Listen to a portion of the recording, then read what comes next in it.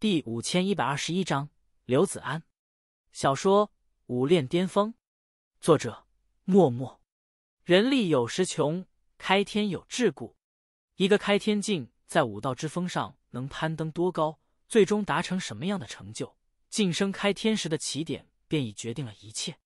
一般来说，晋升开天之后，即便再怎么努力修行，日后顶多也只能让自身再提升两品之境。这也是洞天福地大力培育精锐弟子的原因。只有那些直径五品之上的弟子，日后才有资格成就上品开天。直径四品，极限不过是六品水准而已。但墨之力在侵蚀了开天境之后，却可以突破这个桎梏，让开天境武者得以无限制的晋升下去。这对任何一个开天境来说，都是难以言喻的诱惑。便是狼牙福地的副掌教元笃都没能抵挡住这样的诱惑。主动寻求了墨之力，从而沦为墨徒，从而祸乱狼牙内部。可想而知，一旦这个消息扩散开来，会对三千世界造成多么大的冲击！这世上受瓶颈所限，自身武道中无寸进的，可不止元笃一人。然而世人只知其一，不知其二。墨之力确实可以助开天境武者突破桎梏，达成寻常手段无法达成的成就，却也是需要付出代价的。而这个代价往往是无法承受的。当初在黑狱中，杨开亲眼目睹了好几位开天境借助墨之力突破自身桎梏，但那几人的下场却好不到哪去。藩篱的突破，力量的暴增，有可能会让人爆体而亡，身死道消；也有可能会让人形体发生极大的改变，宛若怪物，从而迷失本性，变得暴力非常。眼前忽然出现的这个墨徒。无疑便是后一种情况，他颈脖处的肉瘤、背后的驼峰，乃至不似常人的巨大体型，明显都是因为墨之力的侵蚀。换言之，这个人原本是不可能拥有七品开天的修为的，但借助墨之力，从而突破了自身极限，在得到品阶提升的同时，身体也发生了一些异变。杨开能明显的感觉到，眼前这位七品气息虽然凶力非常，却显得根基不稳，犹如被那重铸的大厦。轻轻一推便可能倾倒。他若再继续修行下去，随着实力的提升，因为无法承受太过强大的力量而爆体而亡的可能性会越来越大。而如他这样的人，即便动用净化之光驱散了他体内的墨之力，也是救不回来的。他的小乾坤只能承受六品之力，七品的开天之力已经超出他承受的极限。一旦驱散了墨之力，没有墨之力的帮助。顷刻间就要陨落，种种念头在杨开脑海中如闪电般划过，心中微微一声叹息。杨开问道：“尊驾是？”来人一抱拳，咧嘴笑道：“刘子安，鬼辽大人麾下墨徒。”原来是刘兄。杨开微微颔首：“刘兄有事？”刘子安豪爽一笑：“听说狱主大人亲自收了一个墨徒，好奇之下过来看看。咱们狱主大人实力强大。”对一般的墨徒可看不上眼，这么多年我还从未见过他亲自收取墨徒，杨兄是头一个，那可是我的荣幸。杨开谦逊一声，看出刘子安应该是有事找自己，便让开身子道：“刘兄进来说话吧。”刘子安也不客气，大步入内。杨开关了房门，这片店内原本空无一物，应该是很久没人住了。杨开方才到来，也没准备什么。此时便从小乾坤中取出一套桌椅来摆上，伸手示意。刘子安大喇喇的落座，杨开也坐了下来，开口道：“刘兄之前说是鬼辽大人麾下墨徒，正是。”刘子安点头。刘兄来这边多久了？杨开又问道。刘子安咂咂嘴，唏嘘道：“不短了，约莫有千年了。”那确实不短。杨开微微点头：“小弟我初来乍到。”对墨族这边一应事务陌生的很，日后还要仰仗刘兄多多提携了。刘子安哈哈一笑：“好说好说，都是在狱主大人麾下效力，有什么能帮的，日后尽管招呼。咱们虽是墨徒，但毕竟源自一族，是该好好亲近亲近。”刘兄说的是。杨开一脸赞同模样，却不知刘兄出身哪一家洞天福地。刘子安摆手道：“既已成墨徒，那便跟以前没了关系。”不必再提什么出身了。老弟既来了墨族这边，当入乡随俗才是。明白了。杨开一副受教的表情。刘子安又道：“说实话，我出来墨族这边的时候也是很不习惯的，但相处久了，就发现这边跟人族那边其实也没什么区别，无非就是人情往来罢了。想要人家办什么事，想要得到重视，只需把关系搞好了，自然一切顺利。”杨开闻言，眼中金光一闪：“刘兄说的有道理。”这家伙把话说的这么明白，杨开岂能不知？当即扣扣锁锁一阵，捣鼓出一枚空间戒，顺着桌面推了过去。我与刘兄一见如故，区区薄礼不成敬意，日后还望刘兄多多指点。刘子安眉头一扬，哈哈大笑：“好说好说，杨兄太客气了。”话虽这么说，手上却是一点都不含糊，拿起空间戒神念一扫，原本的笑容立刻僵硬在脸上。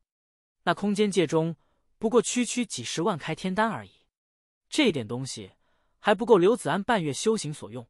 他虽是墨徒，但依旧还是人族之身，修行之物与人族那边没什么区别。他倒也不含糊，立刻斜眼望来：“杨兄出手可不够大方。”杨开面不改色：“这已是我所有资产的一半。刘兄应该知道，人族那边一旦出战，是不会携带太多物资的。”这也是人族各处关爱的规矩，就是怕在战场上陨落了，导致资源流失。所以正常情况下，出战的武者都会将自己的资产留在住处。如此一来，即便陨落了，族人也可以将之取出，以供他用。杨开知道这个规矩，可碧落关那边从来没有用这个规矩约束过他，所以他的财富全都在小乾坤中。刘子安闻言皱了皱眉，杨开说的是实情，他也不好反驳什么。以往战场中，墨族收获的战利品有不少人族的空间戒，但那每一枚空间戒都没有好东西。略一沉吟，刘子安道：“罢了罢了，杨兄有这份心思便好，多谢刘兄体谅。”杨开抱拳，又开口道：“刘兄既是鬼辽大人的墨徒，可否帮我一个忙？”刘子安虽收了礼，但态度却不见多么爽快，反而警惕望来：“什么忙？”杨开道。黑渊大人入墨朝疗伤之前，曾吩咐鬼辽大人寻一枚玄牝灵果交于我。刘兄既是鬼辽大人的墨徒，能不能帮我问问鬼辽大人，那玄牝灵果什么时候可以给我？刘子安闻言一怔，玉主大人要给你一枚玄牝灵果，不错。杨开点点头，奇道：“有什么问题？”刘子安上下打量他一阵，缓缓摇头：“没什么。”说着便站起身来。此事我可以帮你问问，不过鬼辽大人如何决断，就不是我能左右的了。不管如何，还是要谢过刘兄。嗯，刘子安淡淡颔首，有消息了，我再来通知你。杨开起身相送，刘兄慢走。刘子安头也不回，只是随意摆手，望着他离去的身影。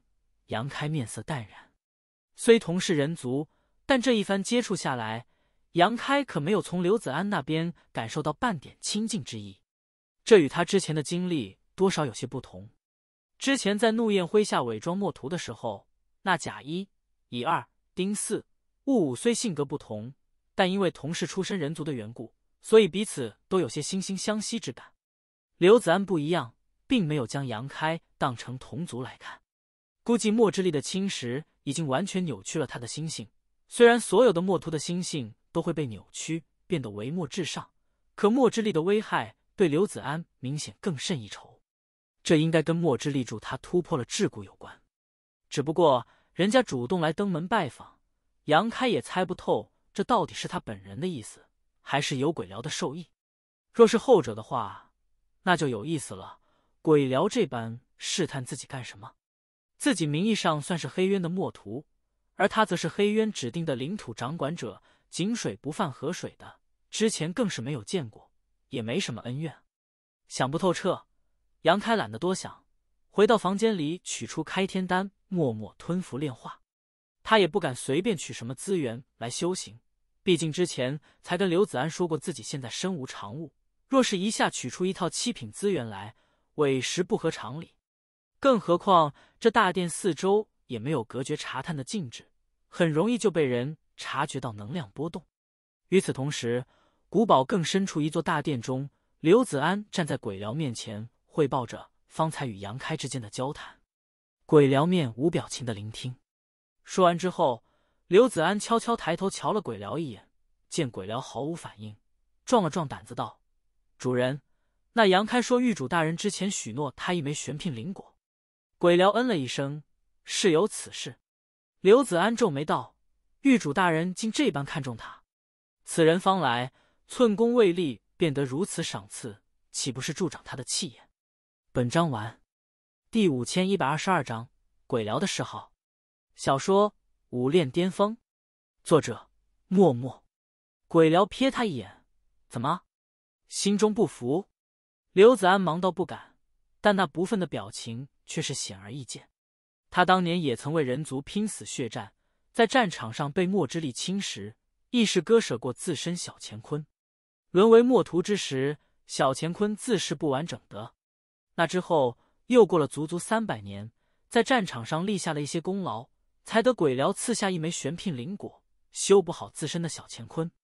对比自己当年的遭遇和杨开如今的待遇，一个天一个地，刘子安自是不服。不过鬼辽问起，他也不敢直言，将他的表情看在眼中。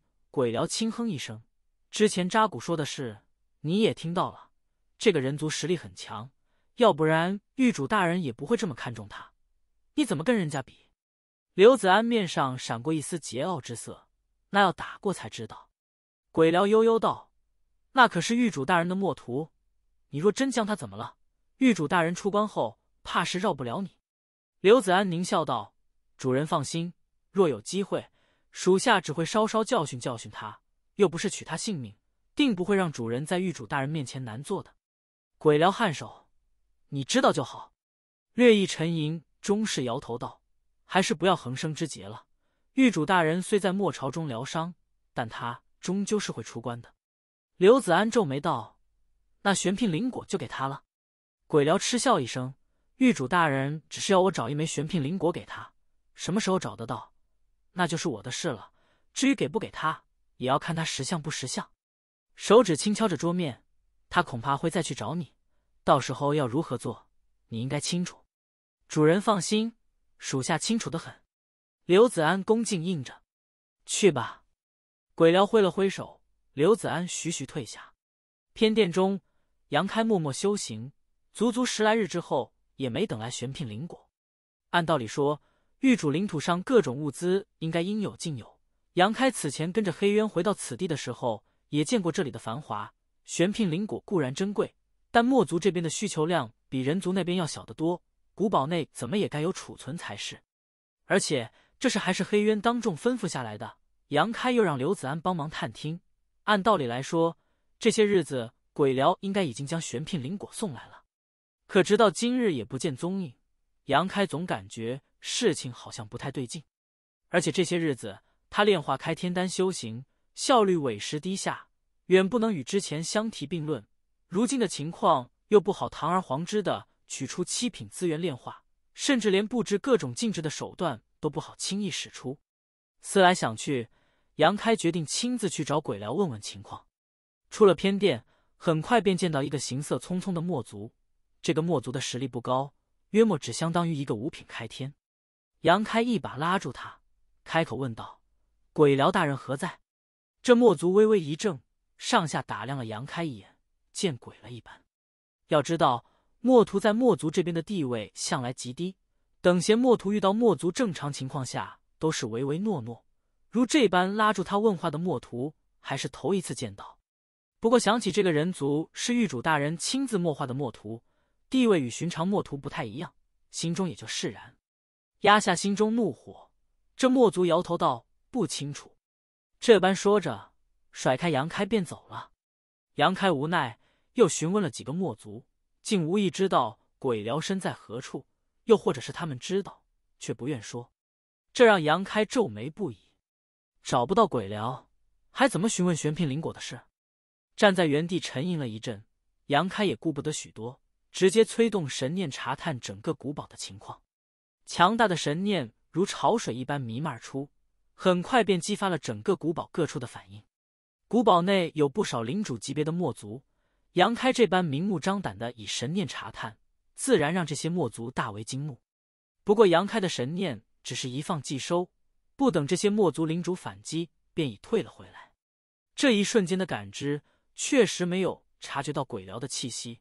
看样子，之前询问的那几个墨族并没有说谎，他们确实不知鬼寮在哪里。杨开略一沉吟，循着一个方向行去。片刻后，来到一栋小院前，院内有禁制。杨开屈指轻弹，弹出一层层涟漪。少顷，禁制关闭，院门打开，刘子安怒气冲冲的面孔出现在眼前。能找到刘子安的所在，倒不是瞎蒙。方才他以神念查探古堡的时候，这边禁制被触动，有那么一瞬间的功夫，刘子安露出了气息探查，这才被杨开知晓。刘兄，杨开退后一步，抱拳问好。刘子安满面怒容，见是杨开后，一头恼火：“是你呀？我倒是谁这么胆大妄为？”杨开呵呵一笑，无奈之举，刘兄见谅。有事？刘子安沉声问道：“杨开点点头，确实有事想请教刘兄。”刘子安皱了皱眉，侧身让出位置：“进来说吧。”杨开道了声谢，随着刘子安入内，左右打量。杨开眉头微扬，这个小院的环境比起鬼寮给他安排的那个偏殿要好得多，更适合人族居住。想来是鬼寮对刘子安颇为看重的缘故。而他虽是黑渊麾下的墨徒。但毕竟与鬼寮隔着一层，鬼寮那边就没那么上心了，只随便让人给他安置了一下便了事。这种事就算是黑渊知道了，也不会说什么。不过由此也可见，鬼寮那边确实不怎么在意自己。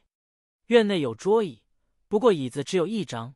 刘子安自顾落座，杨开站在他面前，左右瞧瞧，感觉自己像是来跟上峰来汇报工作的。有什么事就说吧。刘子安有些不耐的催促，杨开笑了笑，从小乾坤中摸出一把椅子来，摆放到刘子安对面坐下，这才开口道：“是这样的，刘兄，我上次托你打听的事，可有什么眉目？”刘子安斜眼望来：“什么事？”杨开微微眯眼：“刘兄莫不是在装糊涂？我上次所提之事只有一件。”心中莫名纳闷，上次见这刘子安的时候，感觉这个人很是桀骜。浑身戾气，倒也没那么大的敌意。这一次，杨开明显从他身上感受到了敌意，不知是怎么回事，就连说话都显得阴阳怪气的。说起来，大家如今都是墨徒，又何苦如此？更何况他上次明明托刘子安打听玄牝灵果的事，如今他却在这里装糊涂。杨开如今虽然用不到玄牝灵果，但却是需要玄牝灵果来掩盖自身小乾坤的秘密。所以这果子非得拿到手不可。刘子安端坐，八风不动，淡淡道：“玄牝灵果吗？”杨开点头：“刘兄这不是没忘吗？”刘子安道：“我帮你问过鬼辽大人了，不过大人并没有说什么。大人要如何决断，也不是我能干涉的。”杨开不禁皱眉：“那鬼辽大人如今何在？”刘子安冷哼一声：“刘某乃是鬼辽大人麾下墨徒，他身为主人。”要去何处？难道还需跟我报备吗？他如今何在？我又怎知晓？杨开被他噎得几乎说不出话，恨不得祭出苍龙枪，一枪给他捅死。见他神色阴郁，刘子安话锋一转，悠悠道：“杨兄，还记得我上次跟你说过什么吗？”杨开道：“上次刘兄与我说过很多，却不知刘兄如今指的是什么。”刘子安咧嘴一笑：“杨兄既然忘了。”那刘某就再说一遍，墨族这边与人族其实没有什么区别，无非就是人情往来。想要求人办什么事，把关系搞好了，自然一切顺利。杨开顿时露出难色：“刘兄，我手上只有一点开天丹了，上次便分了一半给你，如今真的没剩下多少了。”刘子安不屑道：“谁还贪图你那点开天丹？”杨开不解：“那刘兄想要什么？”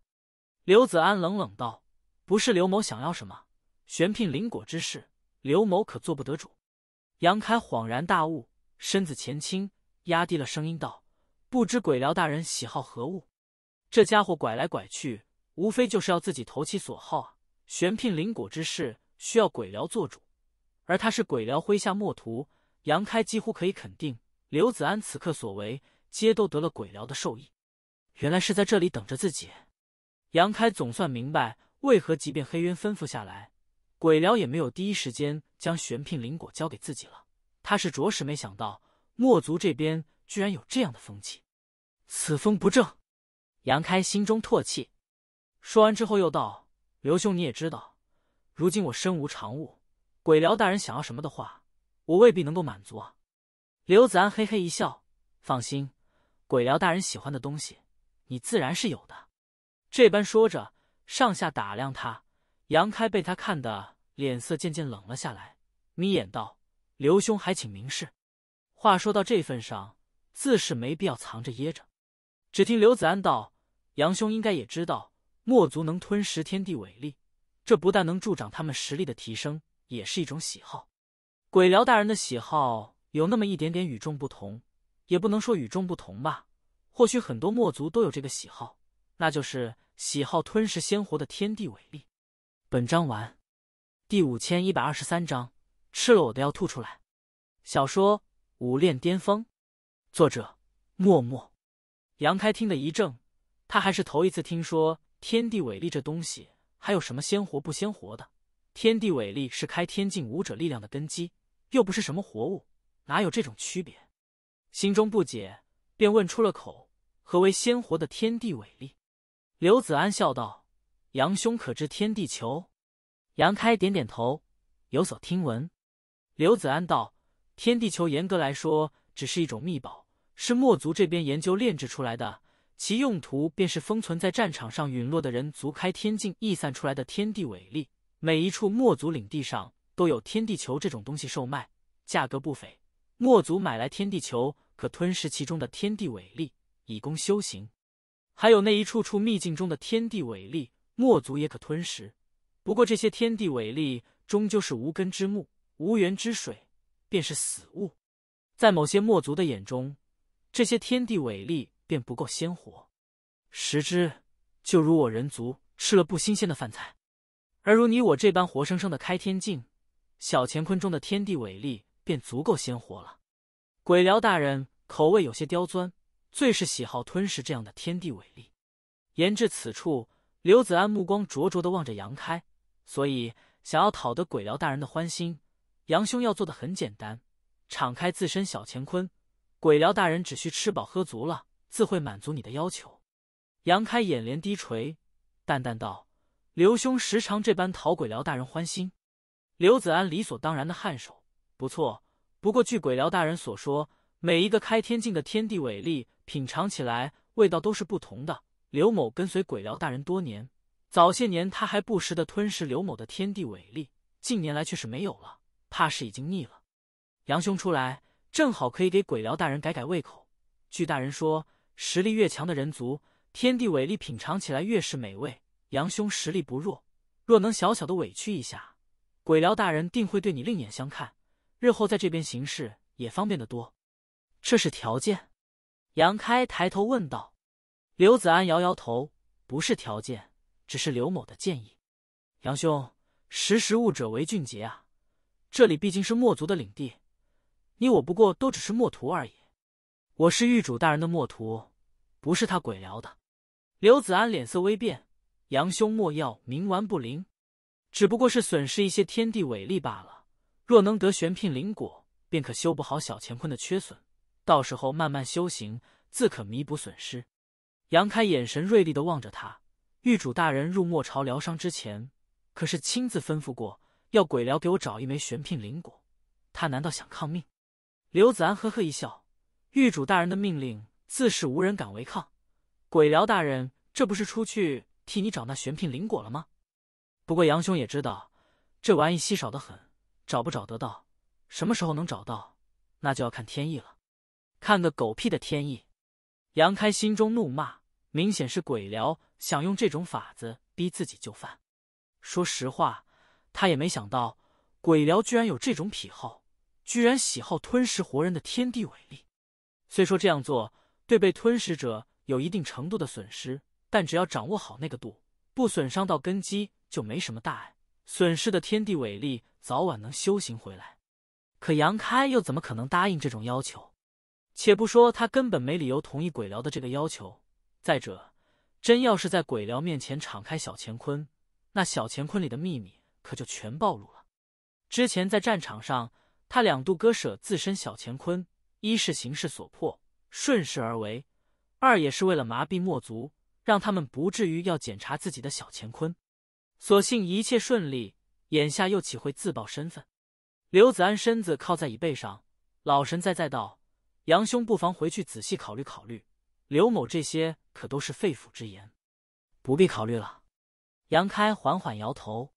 刘子安定定的瞧着他：“杨兄的意思是？”杨开冷哼一声：“杨某是狱主大人的墨徒，不是他鬼聊的。若是狱主大人有令，便是刀山火海，杨某也不会皱一下眉头。至于鬼聊的无稽要求，待狱主大人出关之后。”我自会禀告。刘子安脸色大变，猛地一拍桌子：“小子，莫要敬酒不吃吃罚酒！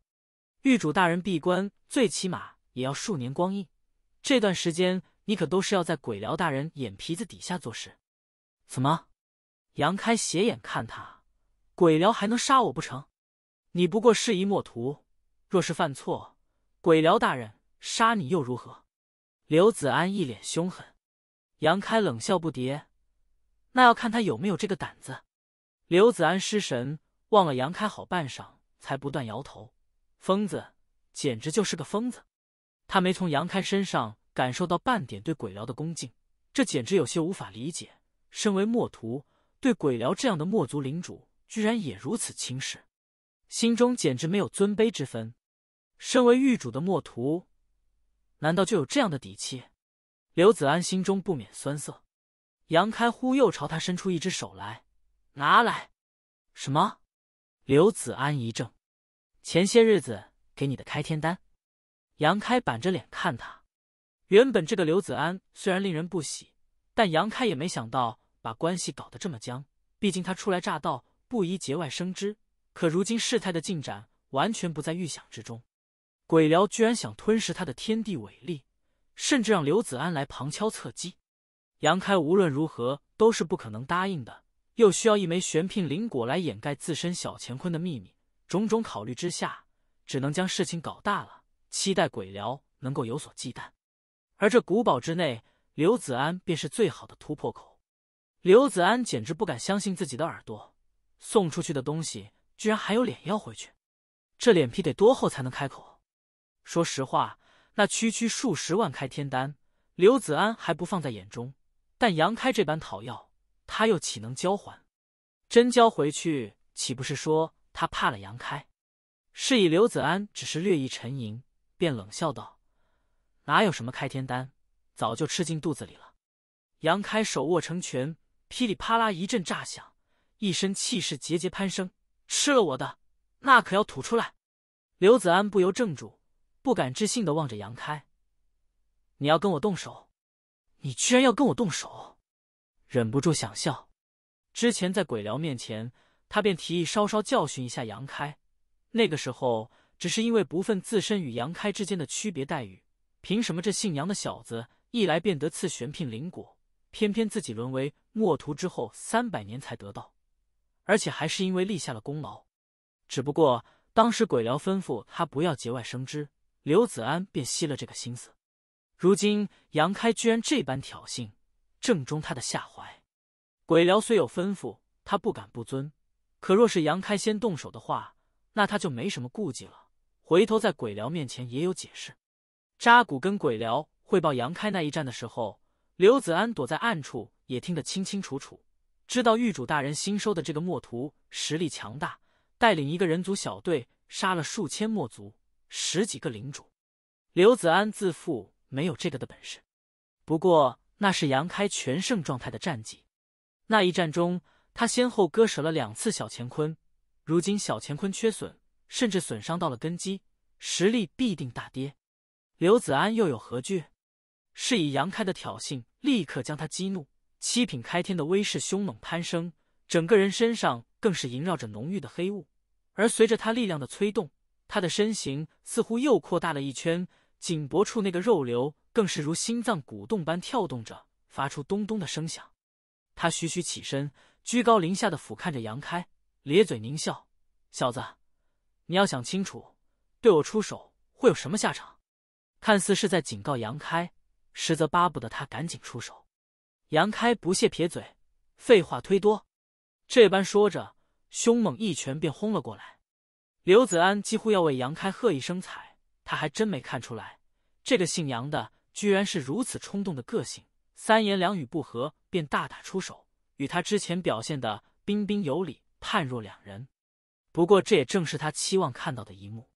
示意眼见杨开出手，他也毫不犹豫，同样一拳挥出。他身形高大，便是拳头都要比杨开大上一倍。两只拳头迅速碰撞，仿佛两座乾坤撞击在一处，天地伟力迸发之时，刘子安胜券在握的表情僵在脸上，整个人庞大的身形如离弦之箭般倒飞出去，直接撞进了后面的厢房之中，砸出巨大坑洞来。杨开的身形也是后退不已。直退出十几步才堪堪稳住，狂暴气劲一散，震得衣衫哗啦啦作响。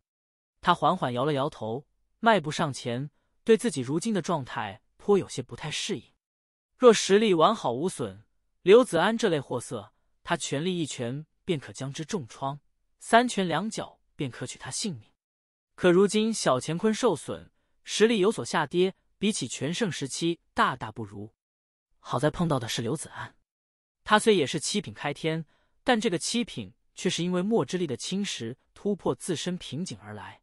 换言之，他的极限成就本只是六品开天而已，得墨之力相助，才有了七品之境。然而他这个七品根基不稳，难以发挥出七品真正的实力。本章完，第五千一百二十四章，我要控诉。小说《武炼巅峰》，作者。默默交手一招，杨开便已判断出刘子安的真实实力，确实有七品，那浓郁的天地伟力做不了架。然而他根本难以将自身实力全部发挥出来，这一身修为对他来说颇有些空中楼阁的味道。反观杨开，虽然因为两度割舍小乾坤导致自身根基受损，然则得世界数子数的凝练，自身力量精纯至极。此刻纵然在量的比拼上不如对手。但在质的层次上已经足以形成碾压，所以这一次交手，杨开才会略占上风。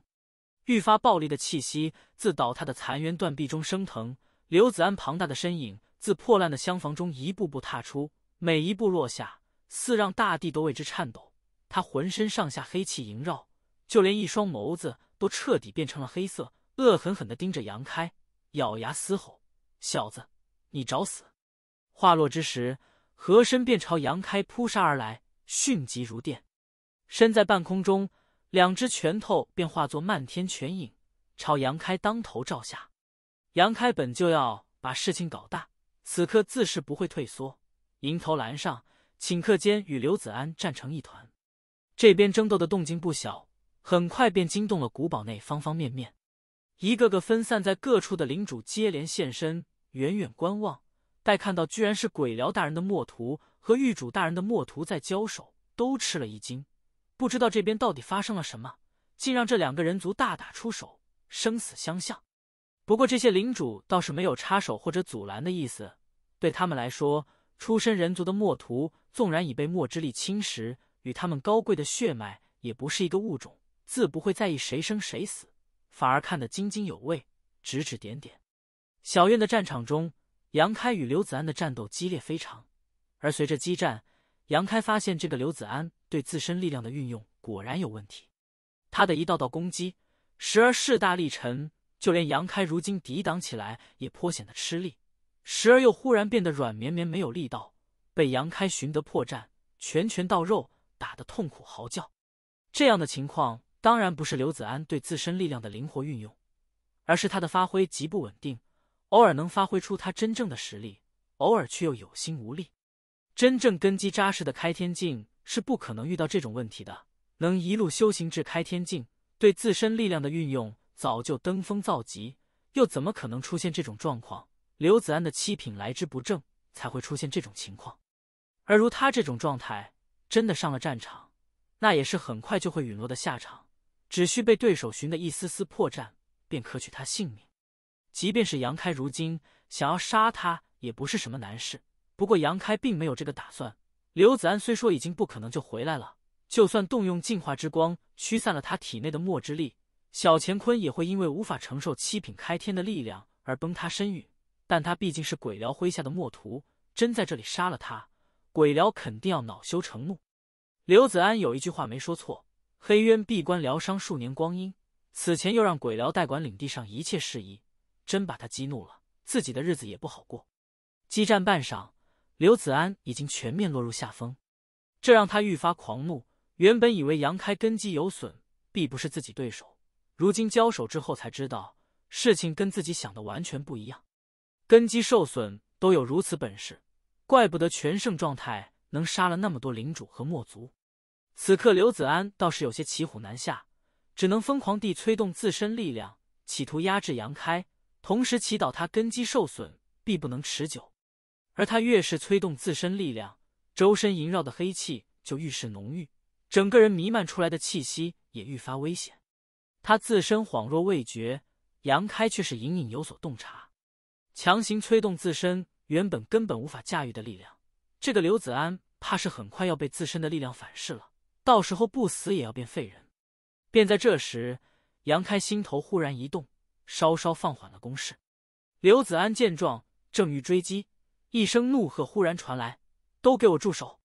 话落之时，一道身影从天而降，径直落在杨开与刘子安中间。杨开见机的快，迅速往后跳出几步。刘子安已被愤怒蒙蔽了心神，狠狠倒出的一拳是大力沉，瞬间袭至这人面前。不过在看清来人面貌之后，刘子安顿时吓了一跳，连忙收拳。凶猛的攻击没有打出去，反而强行收回。小乾坤一阵激荡，一身天地伟力都变得紊乱至极。噗的一声，刘子安一口鲜血喷了出来，终是没承受住自身的反噬之力，气息变得萎靡了不少。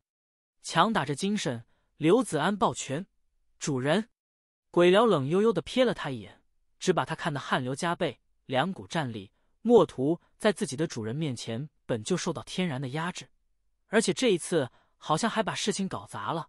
刘子安自然惶恐不安。鬼辽大人，杨开也抱拳问候，心中冷笑不迭，总算把你给惊出来了。看鬼辽出场的架势，方才他确实不在古堡内。不过，两位七品开天的大战波动足以传至小半个领地，鬼辽只要在附近，自然是能感知到的。鬼辽闻声转过头看了看杨开，面上怒气显而易见。狱主大人闭关疗伤，这才多久？古堡内两个墨徒居然大打出手，导致古堡大片建筑损坏。不管起因为何，都是他统管不力，这个责任他得担在身上。回头狱主大人出关，若是问起。搞不好要被训斥几句，虽说不会有什么大碍，但总归是不爽的。谁能告诉我，这到底是怎么回事？鬼辽森声问道。刘子安唯唯诺诺说不出话，总不能说是杨开拒绝了他的提议，又找他讨要之前送的开天丹，两人一言不合打起来了。刘子安说不出，杨开却是中气十足，抱拳道：“鬼辽大人，我要控诉刘子安欺杨某初来乍到。”不通墨族人土风情，境界大人的名义向杨某索要种种好处。杨开话一出口，鬼辽便心中一沉，有些后悔自己刚才问了句蠢话。方才他盛怒之下也没多做考虑，如今想来，应该将这两个人族带到僻静处询问，也省得被这许多领主暗中观望。有这事？鬼辽微微眯眼望向刘子安，刘子安面上冷汗直流，绝对没有。杨开斜眼看来，你敢说我出来那一日，你没有收我开天丹？刘子安怒道：“那可不是我找你要的，是你自己给我的。”杨开冷哼：“你若不开口讨要，我又怎会给你？确实，你没有明言直讨，但话里话外无非就是那个意思。杨某又不是傻子，自会揣摩。我初来乍到，自是不敢忤逆，只能忍痛割舍。”转头看向鬼辽，抱拳道：“鬼辽大人明鉴，可怜我手上只有一点点开天丹，还分润了一半与他。原本以为能结个善缘，孰料这家伙贪得无厌，觉得我送他的东西价值太少。今日居然借助鬼辽大人的名义，又狮子大开口，你休得胡言乱语！”刘子安大怒，唯恐杨开将今日之事捅破。虽说古堡内的墨族都知道鬼辽的癖好。甚至可以说，这种癖好很多墨族都有，但知道归知道，被人当众说出来就不好了。有些是暗地里做没什么关系，摆在明面上就不好看了。尤其是杨开身份特殊，是狱主大人亲自墨画的墨图，如果不是这一层关系也没什么，关键是这一层关系实在要命，连狱主大人麾下的墨图都敢打主意，这哪还把狱主大人放在眼里？这种事可大可小，往小了说不值一提，又不是要杨开的性命；往大了说，那可就是蔑视上风。狱主大人若真心怪罪下来，鬼僚也兜不住。如果鬼僚能偷偷摸摸将事情办下来，也没什么。原本在他的考虑中，杨开一个新来的墨徒，自然不敢有什么反抗，而且损失一点天地伟力并无大碍。谁知杨开居然悍然如斯，是块难啃的硬骨头。鬼僚眼角跳了跳，默然不语。杨开道：“大人就不想知道他如何败坏你的名声吗？”话敢话到这份上，鬼僚即便不想刨根问底也不行了。那倒是显得自己心虚，呵呵一笑，道：“说来听听。”脸上虽有笑容，那眼中却全是杀机。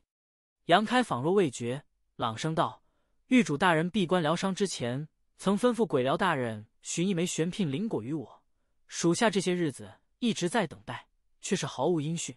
今日本是要去寻大人问问情况的，大人不在，只能去找刘子安了。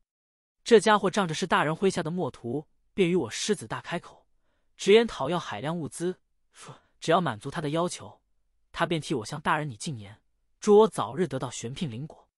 还说，言至此处，欲言又止，似难以启口。还说什么？鬼僚咬牙。杨开接道，还说那些要求并非为他自己，而是为了鬼辽大人你。大人，玄牝灵果之事可是狱主大人亲自吩咐下来的，我相信鬼辽大人定不会马虎懈怠，又何须他来相助？大人行事更不是他一个墨徒能够左右。属下识破了他丑陋的嘴脸，他便恼羞成怒，属下这才与他打了起来，还请大人明察。一番话听得刘子安瞪大眼睛望着杨开，都惊呆了。本章完，第五千一百二十五章，你很不错。小说《武炼巅峰》，作者默默。刘子安压根没想到杨开居然会这么胡扯一通，而且一番义正辞严，搞得好像真是如此一般，当即反驳：“没有的事。”杨开老神在在望去，没有的事。那刘兄，你倒是说说，咱们为何争执不休？我一个新来的墨徒，总不能自找麻烦。平白无故得罪于你吧？刘子安怒道：“那当然是。”杨开逼视着他：“当然是什么？”刘子安一时无言。今日他跟杨开提的要求，实在不宜在大庭广众之下宣之于口。毕竟这是他揣摩鬼僚的心思所为。真要是说出来，鬼僚可就下不了台了。他身为鬼僚的墨徒，又岂敢将自己的主人置于这种尴尬境地？杨开当即道：“看。”他说不出来，鬼辽大人，事情已经明摆着了，非是我愿意与他发生冲突，实在是此人欺人太甚，还望大人明察。鬼辽深深的望他一眼，又看向刘子安，眼神凌厉。废物！刘子安满嘴苦涩，塞过吃了黄连。鬼辽的训斥更是让他如芒刺背，惶恐不安。而一切的缘由皆是杨开，只能将这份怨恨记在心中，待日后再报。不管起因如何。你二人身为墨徒，竟敢在狱主大人的堡内大打出手，导致堡内多有损坏，都要受到责罚。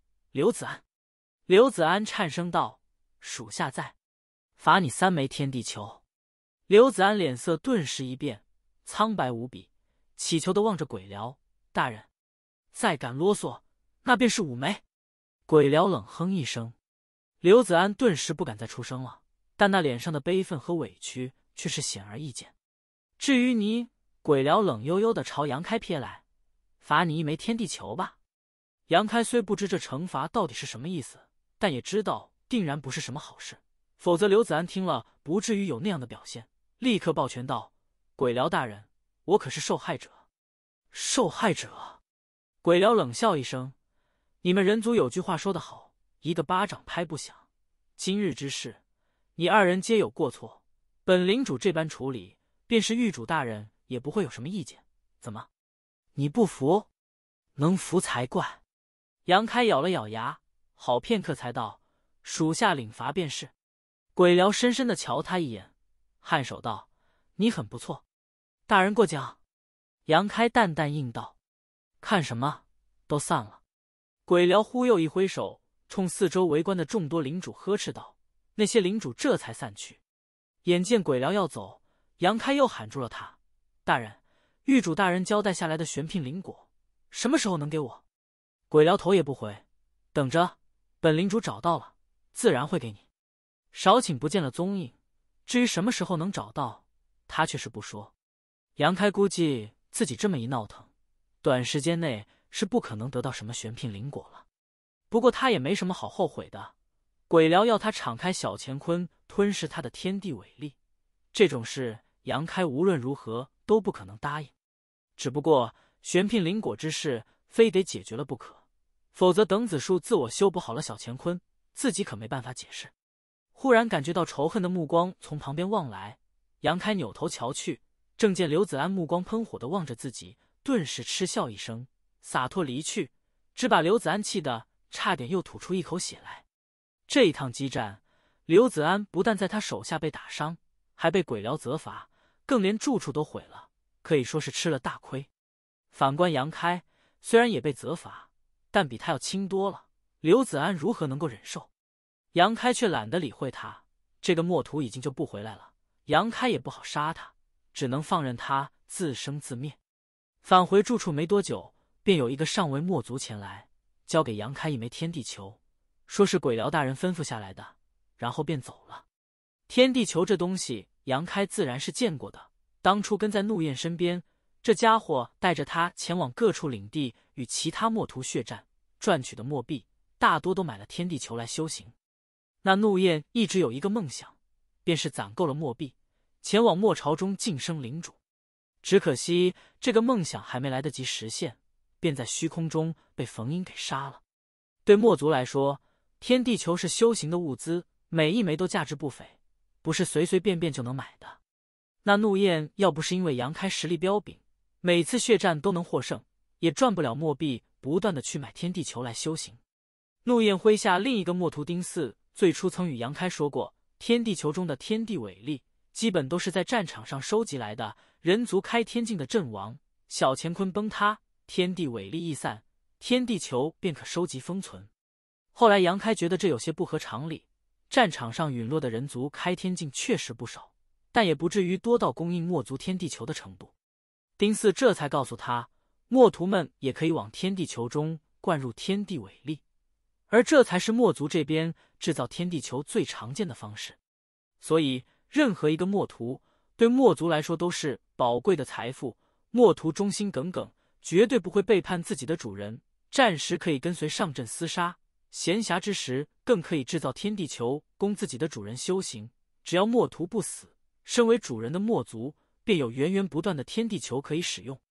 怒焰当初便曾买过几个空白的天地球，让丁四他们往其中灌入自身的天地伟力。杨开因为战力彪炳。是他的摇钱树，所以便免了这个任务，只需要在各处血斗场内打赢就行。今日杨开刚听到鬼僚对自己的惩罚的时候，还有些没反应过来。不过在拿到这一枚空白的天地球之后，他总算明白鬼僚是什么意思了。这明显是要自己往这天地球中灌入天地伟力。每一枚完整的天地球诞生都耗时漫长，以杨开如今七品之身，手上这一枚天地球。想要灌满的话，最起码也要数月光阴，不但浪费了修行时间，还损耗了自身的底蕴。这种事，杨开怎会去干？鬼僚这家伙连玄牝灵果都不给自己，他又岂会帮他制造天地球？只是如今公然得罪了鬼僚，以后的日子怕是不会好过。最起码在黑渊出关前的这几年，须得小心谨慎，免得被他找到机会刁难。而且。杨开还需得想办法完成此行的任务，打探出那炼气大师的身份和位置。不过眼下对他来说，最要紧的还是玄牝灵果，这东西指望不上鬼僚，只能自己想办法。沉吟了许久，杨开起身走出房间。古堡内一切如常，来来往往的墨族倒是有些好奇的观望他。毕竟才刚来没几天的墨图，便在古堡内大打出手的，他们还真没见过。杨开随手拉住了一个墨族，开口问道：“可知扎古住在何处？”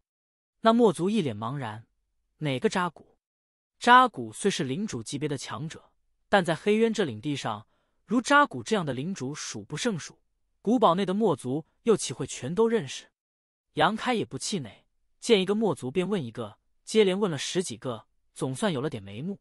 据那稍微知情的墨族所说，扎古具体住在何处，他也不清楚。或许杨开可以去领地某个方向搜寻一二。如扎古这样的领主，一般都喜欢在城池之外自寻一处满意的位置，圈出属于自己的领土。这也是黑渊乃至所有域主默认的，只不过。没有能力得到墨朝，就没有真正意义上属于自己的领地。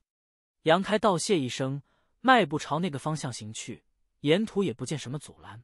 看样子，经过方才的事，鬼辽也不准备在自己身上再节外生枝。这一整个巨大如乾坤世界的符箓，都是黑渊直属的领土。他麾下领主们在虚空中各处占据的所有的疆域，便是他所有的领地。莫朝和古堡所在的位置。算是这符箓的中心地带，也是这一块符箓最繁华的地方。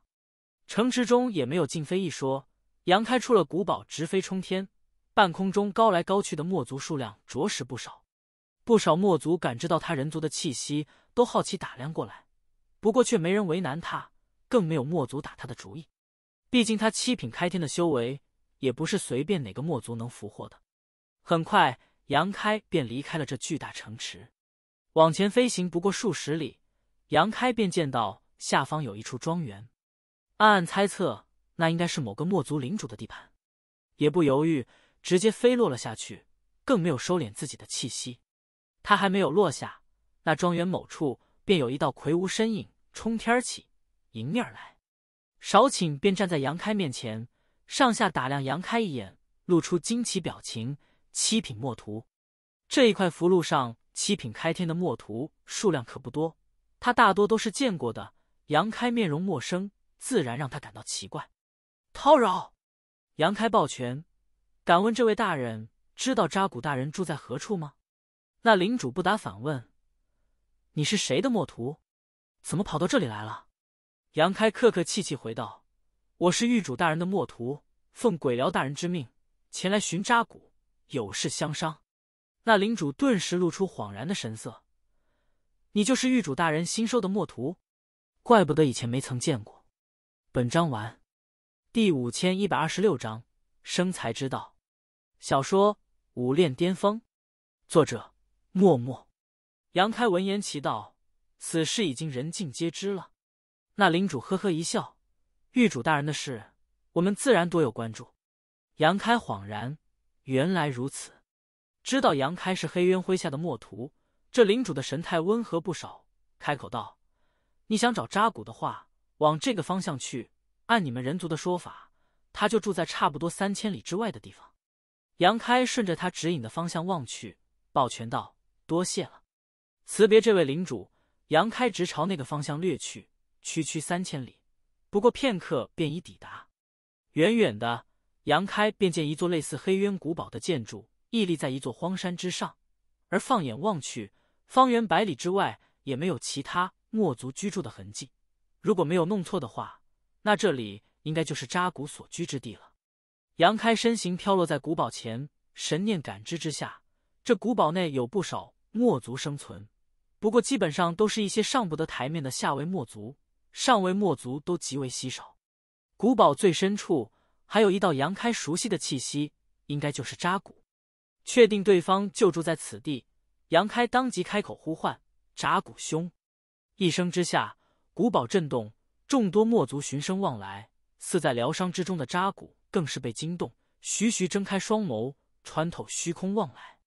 少顷，古堡大门敞开，扎古从里面迈步走出，惊奇的望着杨开道：“你怎么跑到这里来了？”杨开拱手笑道：“特意前来拜会扎古兄，万望没有叨扰才好。”扎古微微颔首，进来说话吧。随着扎古进了古堡，来到一间庭室中，宾主落座。可是狱主大人有什么吩咐？扎古开口问道。在他想来，杨开身为墨徒，居然独自一人跑到这里来，极有可能是得了狱主大人的什么密令。谁曾想，杨开摇头道：“狱主大人自那一日入墨朝疗伤，一直未曾露面，听说要好几年时间呢。原来不是狱主大人有什么事找自己。”扎古不禁松了口气。今日是我自己来找扎古兄，有事想要请你帮忙。杨开道明来意。扎古微微皱眉：“我能帮你什么？”虽说杨开是黑渊麾下墨徒，极得黑渊看重，但毕竟只是墨徒，扎古愿意结交他，却不至于讨好他，所以得先打探清楚要帮什么才能做决定。杨开叹了口气，悠悠道：“我是想请教扎古兄，墨族这边有什么生财之道？”生财之道，扎古一脸意外，就是赚钱的法子。杨开轻咳一声：“你也知道，我人族将士出战。”一般都不会携带什么物资。前些日子被狱主大人收服，如今我小乾坤受损，需要玄牝灵果修补。本身又要修行，需求物资。可狱主大人进了末朝闭关疗伤，我这边身无长物，无论是修补小乾坤还是修行，都无法满足啊！扎古不解道：“玄牝灵果的话，狱主大人闭关之前不是说要鬼辽大人找一枚给你吗？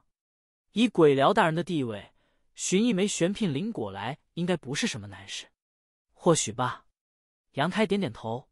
不过，我好像得罪了鬼辽大人，他那边未必愿意给我找寻。扎古闻言一惊：“你得罪了鬼辽大人？怎么回事？”杨开无奈，将之前与刘子安的冲突和起因说了一遍。扎古表情古怪的望着他：“就因为这个，你便得罪了鬼辽大人？”听他的语气。似是答应鬼辽也没什么大不了的，想不明白杨开为何会拒绝。杨开双手一摊，扎古兄也知道，之前我两次割舍了自身小乾坤，本就根基受损，实力大跌。若是再让鬼辽大人吞噬我小乾坤的力量，搞不好要品阶跌落。真出现这种情况，我对狱主大人又有何用？到时候岂不是要变成废物？这倒也是。扎古点点头。所以逼不得已，只能让鬼辽大人失望了。可如此一来，玄牝灵果怕是指望不上了。扎古皱眉道：“不至于，狱主大人吩咐下来的事，他不敢不遵从。只不过可能需要等一阵子。”杨开心说：“我哪里等得起？子树时时刻刻都在修补自身小乾坤，不赶紧找一枚玄牝灵果掩盖一下，小乾坤的秘密都快暴露了。”却听扎古宽慰道：“放心。”在狱主大人出关前，他肯定会给你找来玄牝灵果的。杨开摇头道：“求人不如求己，玄牝灵果我自己想办法。城内应该有卖的才对。”扎古道：“确实有卖的，不过这东西一直很贵，所需墨币不菲。所以我这不是来找扎古兄请教生财之道，不知扎古兄何以教我？”杨开一脸虚心的望着他，扎古面露难色。鬼辽那边。既然已经放出话来了，他若是这个时候帮助杨开，等于是得罪鬼辽。为了一个墨徒，明显是不划算的。且不说他本来就没什么办法，就算是有，也未必愿意说。杨开察言观色，当即道：“扎古兄放心，若真有合适的方法，让我能够赚取墨币，我必有重谢。”扎古面色微动，想了片刻，才道：“对你这情况，哦，确实有一个办法。”杨开眼前一亮，哦，不知是什么办法。扎古道：“天地球知道吗？我可以出资给你买一些原始的天地球，由你出手往其中灌入力量，再倒卖出去。如此一来，一枚天地球便可赚得不少墨币。你只需弄十枚天地球出来，应该就可以买一枚玄牝灵果了。”杨开眼角一抽，没想到他说的居然是这个方法，当即摇头道：“扎古兄莫开玩笑。”我如今连自身修行都无法保证，哪有余力去灌注天地球？真这么弄，必然要品阶跌落，到时候得不偿失。这倒也是，用你们人族的说法，这叫杀鸡取卵。杨开心说：“杀鸡取卵能用在这里，不过也懒得纠正。”话锋一转道：“我听说城内有血斗场，你想去与人血斗？”扎古立刻明白了杨开的用意。杨开颔首。不过如此一来，需要一位真正的墨族领着才行。而我思来想去，也只有扎古兄最为合适了。若是扎古兄能出面与人对赌，我必不会让你失望。到时候所有得利，我与扎古兄对半分账。扎古摇头道：“这确实是个好办法，但对你来说是不成的。”此话怎讲？杨开不解。扎古解释道：“既是血斗，那自然是要实力相当。你一个七品，在血斗场中可没有合适的对手。那边参与血斗的墨徒都是七品之下。”杨开仔细想想，当初跟着怒焰四处血斗的时候，好像确实没有看到七品开天之间的争斗。如今看来，一则是七品开天出手威力太大，二则也是七品墨徒数量不多，墨族极为珍惜。自然不会让其轻易上血斗场承担陨落的风险，这也不行，那也不行。好在杨开另有准备，当即悠悠一叹，看样子只能辛苦些出卖手艺了。扎古好奇道：“手艺？什么手艺？”杨开道：“以前在战场上我就发现了，墨族这边似乎很少有动用秘宝作战的。不说那些上位墨族和下位墨族，便是领主级别的墨族。”也鲜少使用秘宝的，墨族这边似乎更习惯运用墨之力和种种秘术与人族争斗。扎古颔首道：“墨之力是我墨族力量的根源，就如人族的小乾坤的天地伟力一般。我墨族本身也比人族更加身强体壮，却不谙炼气之道。墨族这边的秘宝，基本上都是从人族手上抢来，又或者是人族墨徒炼制的，所以极为稀少。然而从人族手上抢来的秘宝，大多又都不适合墨族使用。杨开道：“扎古兄有自己的秘宝吗？”扎古摇头道：“以前曾得到过一柄人族长剑，但那东西品阶好像不是很高，又不太适合我使用，用过一次便丢了。”杨开想了一下，扎古这巨大体型，拿着一柄人族长剑，简直跟他持着一柄小小的匕首没区别，在战场上确实难以发挥出威力。微微挑眉道。若是我帮扎古兄量身炼制一件秘宝呢？扎古微微一怔：“你会炼制秘宝？略懂一二。你真会炼制秘宝？”扎古脸色震惊：“那你不是人族中的炼器师？”杨开矜持含笑：“算是吧。”扎古上下打量他，显得有些惊疑不定：“你方才所说的出卖手艺，就是这个？”自然。杨开皱眉道：“扎古兄信不过我。”扎古摇头道：“倒不是信不过你，只是有些意外。你居然是炼器师，人族那边对炼器师的保护向来不遗余力，你怎会出现在战场上？”杨开道：“炼器只是闲暇时的爱好，并没有用过太多心思。我是炼器师的事，人族那边也很少有人知道。自晋升开天，我便不曾炼器了。不过虽然放下很多年，但手艺应该还在。”身子微微前倾。语气蛊惑，扎古兄要不要试试？若有一件趁手的秘宝，战场上或许能够如虎添翼。扎古乃受到了这样的诱惑，当即起身，随我来。本章完。第五千一百二十七章精炼大戟。小说《武炼巅峰》，作者默默。跟着扎古往古堡深处行去，一路往下，足足走了有千丈之地。这才忽然来到一个巨大的溶洞之中，热浪扑面来。杨开放眼望去，顿时露出意外的神色，因为这地下溶洞中竟有天然地火涌动，而那无所不在的热浪正是地火弥漫导致。这溶洞内更有一些人族静置的痕迹，整个溶洞都被一座大阵笼罩着。地火汇聚处正是大阵的正中心，溶洞四周还摆放了一些杂七杂八的材料。许多材料看起来都像是被人使用过的样子。杨开眉头一皱，露出不解的神色。扎古径直朝那大阵中心行去，活物的气息似引动了大阵的威能，足以融金噬玉的地火对着扎古吞吐火舌。扎古浑然不理，催动墨之力笼罩住大手，探手朝地火之中抓去。等他大手从地火中抽出来之后，手上已经多出一物。扎古从大阵中心退出。将手中之物抛给杨开，你看看这个。杨开伸手接住，双臂微微一沉，以他的蛮力都如此表现，可见此物的重量如何。这赫然是一杆大戟，长约五丈左右，粗若人腿。这样一杆大戟，杨开抱在手上显得有些不伦不类。但这东西明显与扎古的体型相得益彰。这时，杨开惊奇的打量这杆大戟，神念感知之下，很快便有所洞悉，人族的炼器之物。转过头，惊奇的望着扎古，这东西哪来的？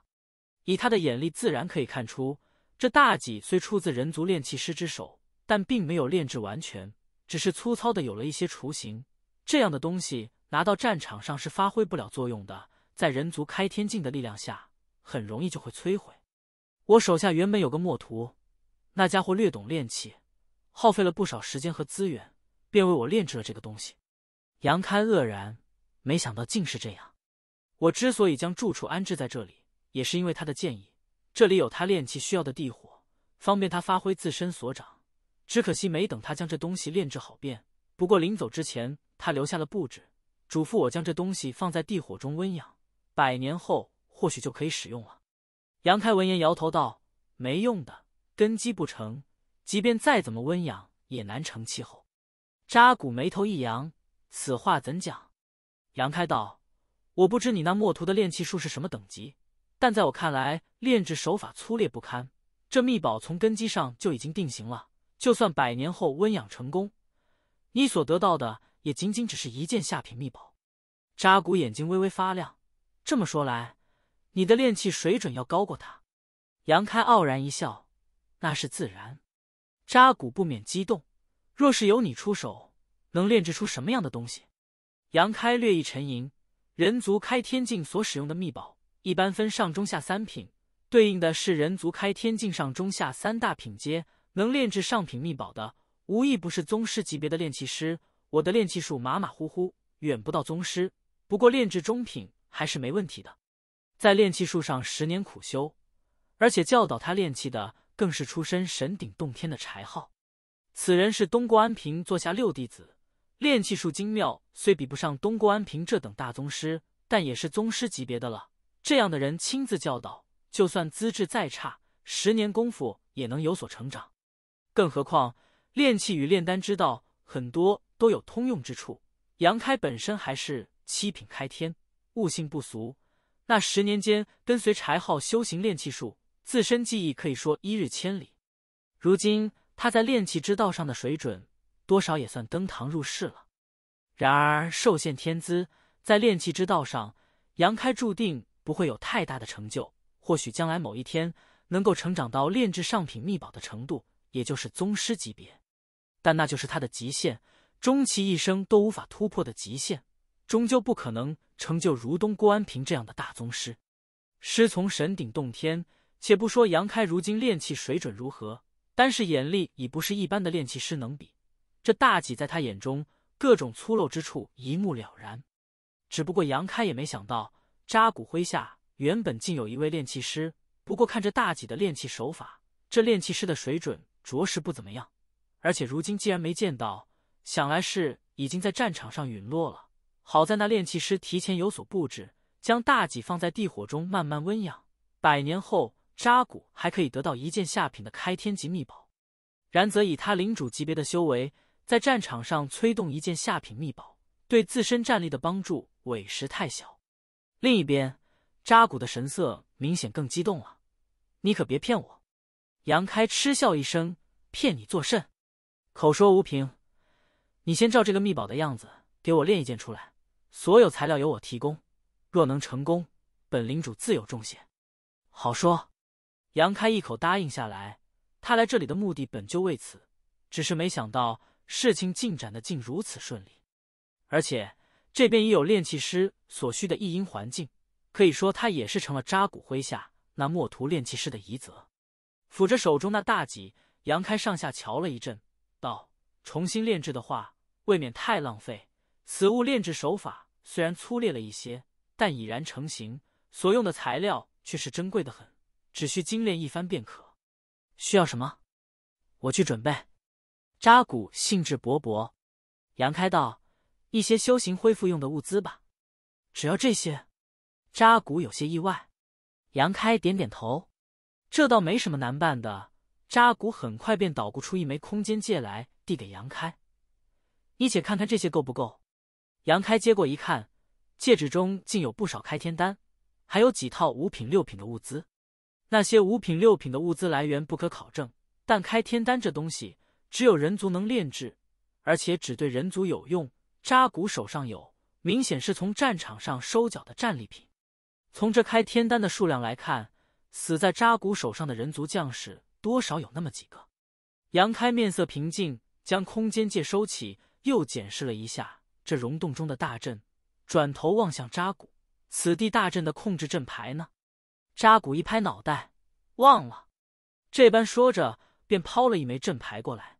杨开接过，催动力量炼化。这东西炼化起来并不困难，前后不过十几个呼吸，便已炼化完全。持此令牌，此地大阵便可由杨开掌控催动。这对炼气有极大的帮助。毕竟借助此地地火之力的话，炼气可以事半功倍。一切准备妥当，杨开伸手在虚空中一握。一柄闪烁着银光，仿佛铁锤一般的东西便出现在手心上。铁锤无名，乃是柴浩赠送给他的，这也是柴浩早些年炼器所用之物。不过后来有了更好的，便没再使用了。他也是见杨开在炼器之道上颇有些资质，而且求学之心如饥似渴，才会赠送，否则又怎会割爱？这东西对他如今没用了，可毕竟是成长的见证，有特殊的意义。虽然对柴浩无用。但对杨开来说却是一件好东西。以他如今的炼气水准，也只能勉强催动这铁锤的部分威能。更好的炼气之物，他也用不了。重若万钧的大戟被杨开随手一拍，整个都插进了地下，直直竖起。扎古观望中，只见他对着那大戟抡起了手中大锤，狠狠砸下。那大锤抡起时，弥漫在这溶洞中的地火之力疯狂地朝大锤中灌入。直让整个大锤都变得一片通红，咣的一声响动，震耳发聩。这样的一击，原本应该将整个溶洞都摧毁。然而离奇的是，所有的力量都加诸在大戟之上，没有半点余力外溢。这显然是杨开对自身力量的控制已登峰造极，没让自身力量有半点浪费的缘故。但是这一手便让扎古看得眉头一扬。领主与七品开天本质上是同一个品阶的。但这一手力量的控制，他却是做不到的。由此可见自己与杨开之间的差距，心说怪不得人家能杀得墨族大军损失惨重。不过眼前一幕却让他看得迷茫至极。以前他麾下那个墨图炼气的时候，他也曾在旁边观望。虽然不懂炼气之道，但那墨图炼气时手法精妙优美，玄奥至极。偏偏杨开这边竟是如此粗暴拙劣，看着竟像是。打铁，心中不解，只听又一声“咣”的响动传出，一声又一声，连绵不绝。杨开每一次挥动手中大锤，似都用尽了全部的力量，那每一锤之间更是节奏分明，丝毫不差。每一次挥动大锤，都引动了大阵的地火之力，手中铁锤一片通红滚烫。如此响声接连八十一响，一杆大戟被杨开从头锤到尾。初始扎古还没察觉到什么，但随着时间的流逝，他分明感觉到那只有雏形的大戟似隐隐有过变化，只不过这个变化有些说不清道不明，他也不知到底是不是自己的错觉。而八十一锤之后，杨开的气息明显有些不稳，当即收了铁锤，盘膝而坐，掏出大把开天丹来吞服。扎古也知他小乾坤受损，实力大跌，方才那一番施为。恐怕消耗不轻，便安静的站在一旁，不敢打扰。本章完，第五千一百二十八章千锤百炼。小说《武炼巅峰》，作者默默。直到数日之后，杨开才气息平复，睁开眼帘。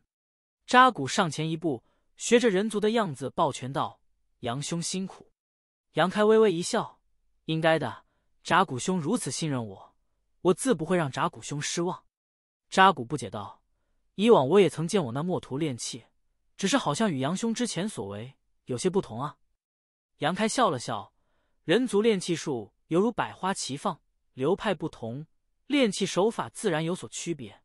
我不知你那墨图师从那一派，但我这手法唤作千锤百炼，算得上人族极为古老的一个流派，可是经历过岁月考证的。”扎古恍然：“原来如此。”这倒不是杨开在随口胡扯，他方才精炼那大戟的炼器之法确实唤作千锤百炼。这种手法尤其适合炼制进攻和防御秘宝，即便在神顶天中，也是需要一定的地位才有资格修行的。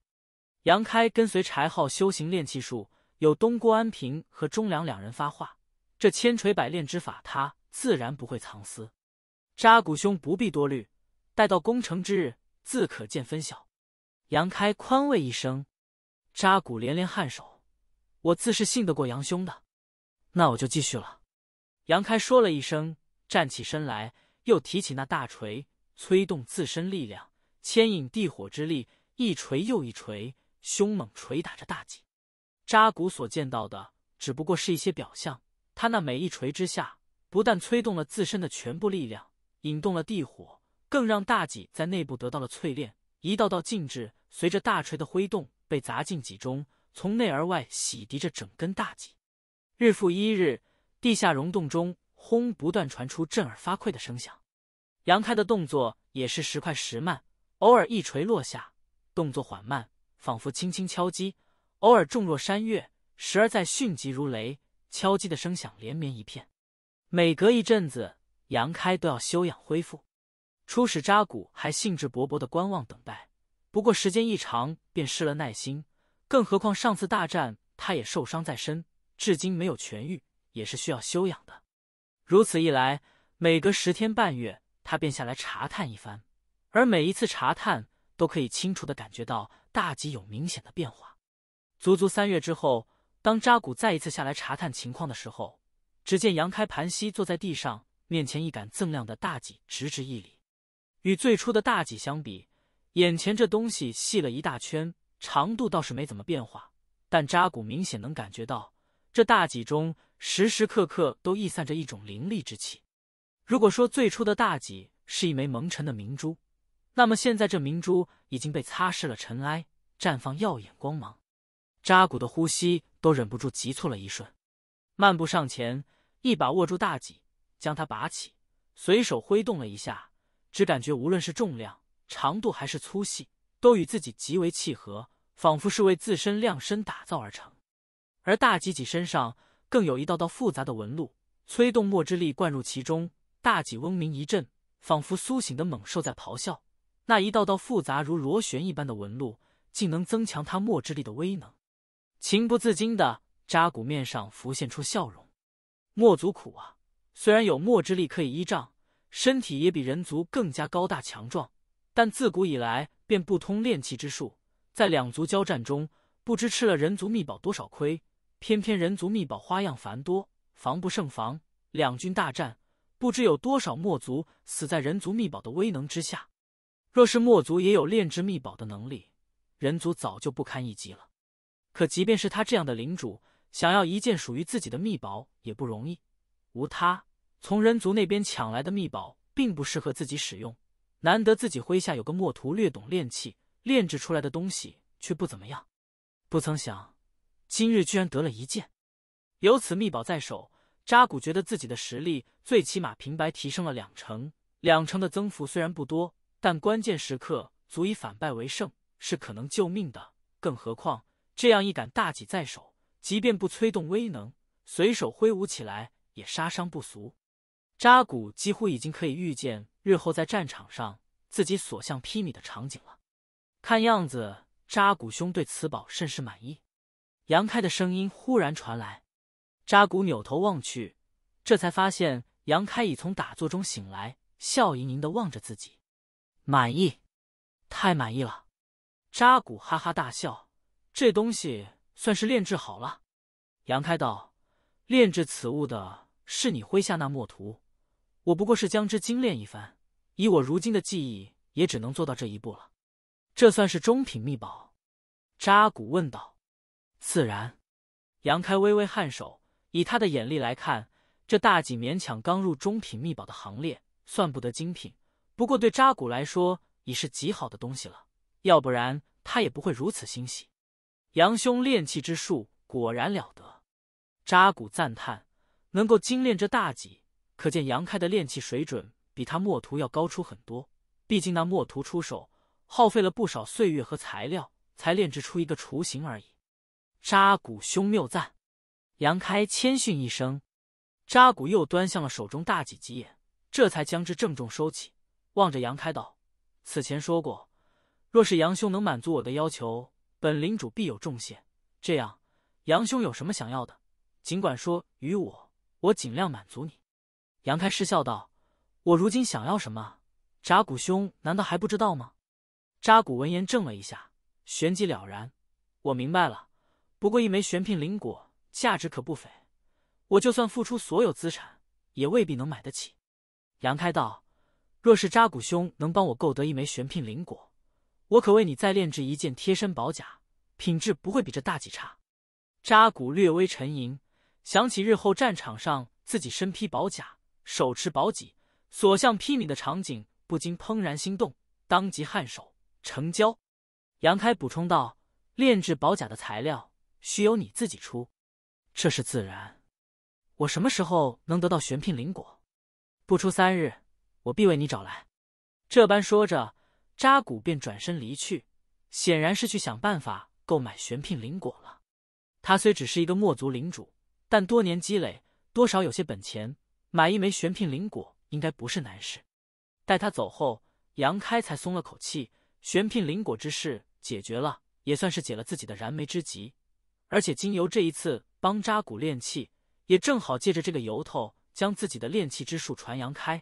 如此一来，待黑渊疗伤完毕出关之时，或许就可以进行下一步计划了。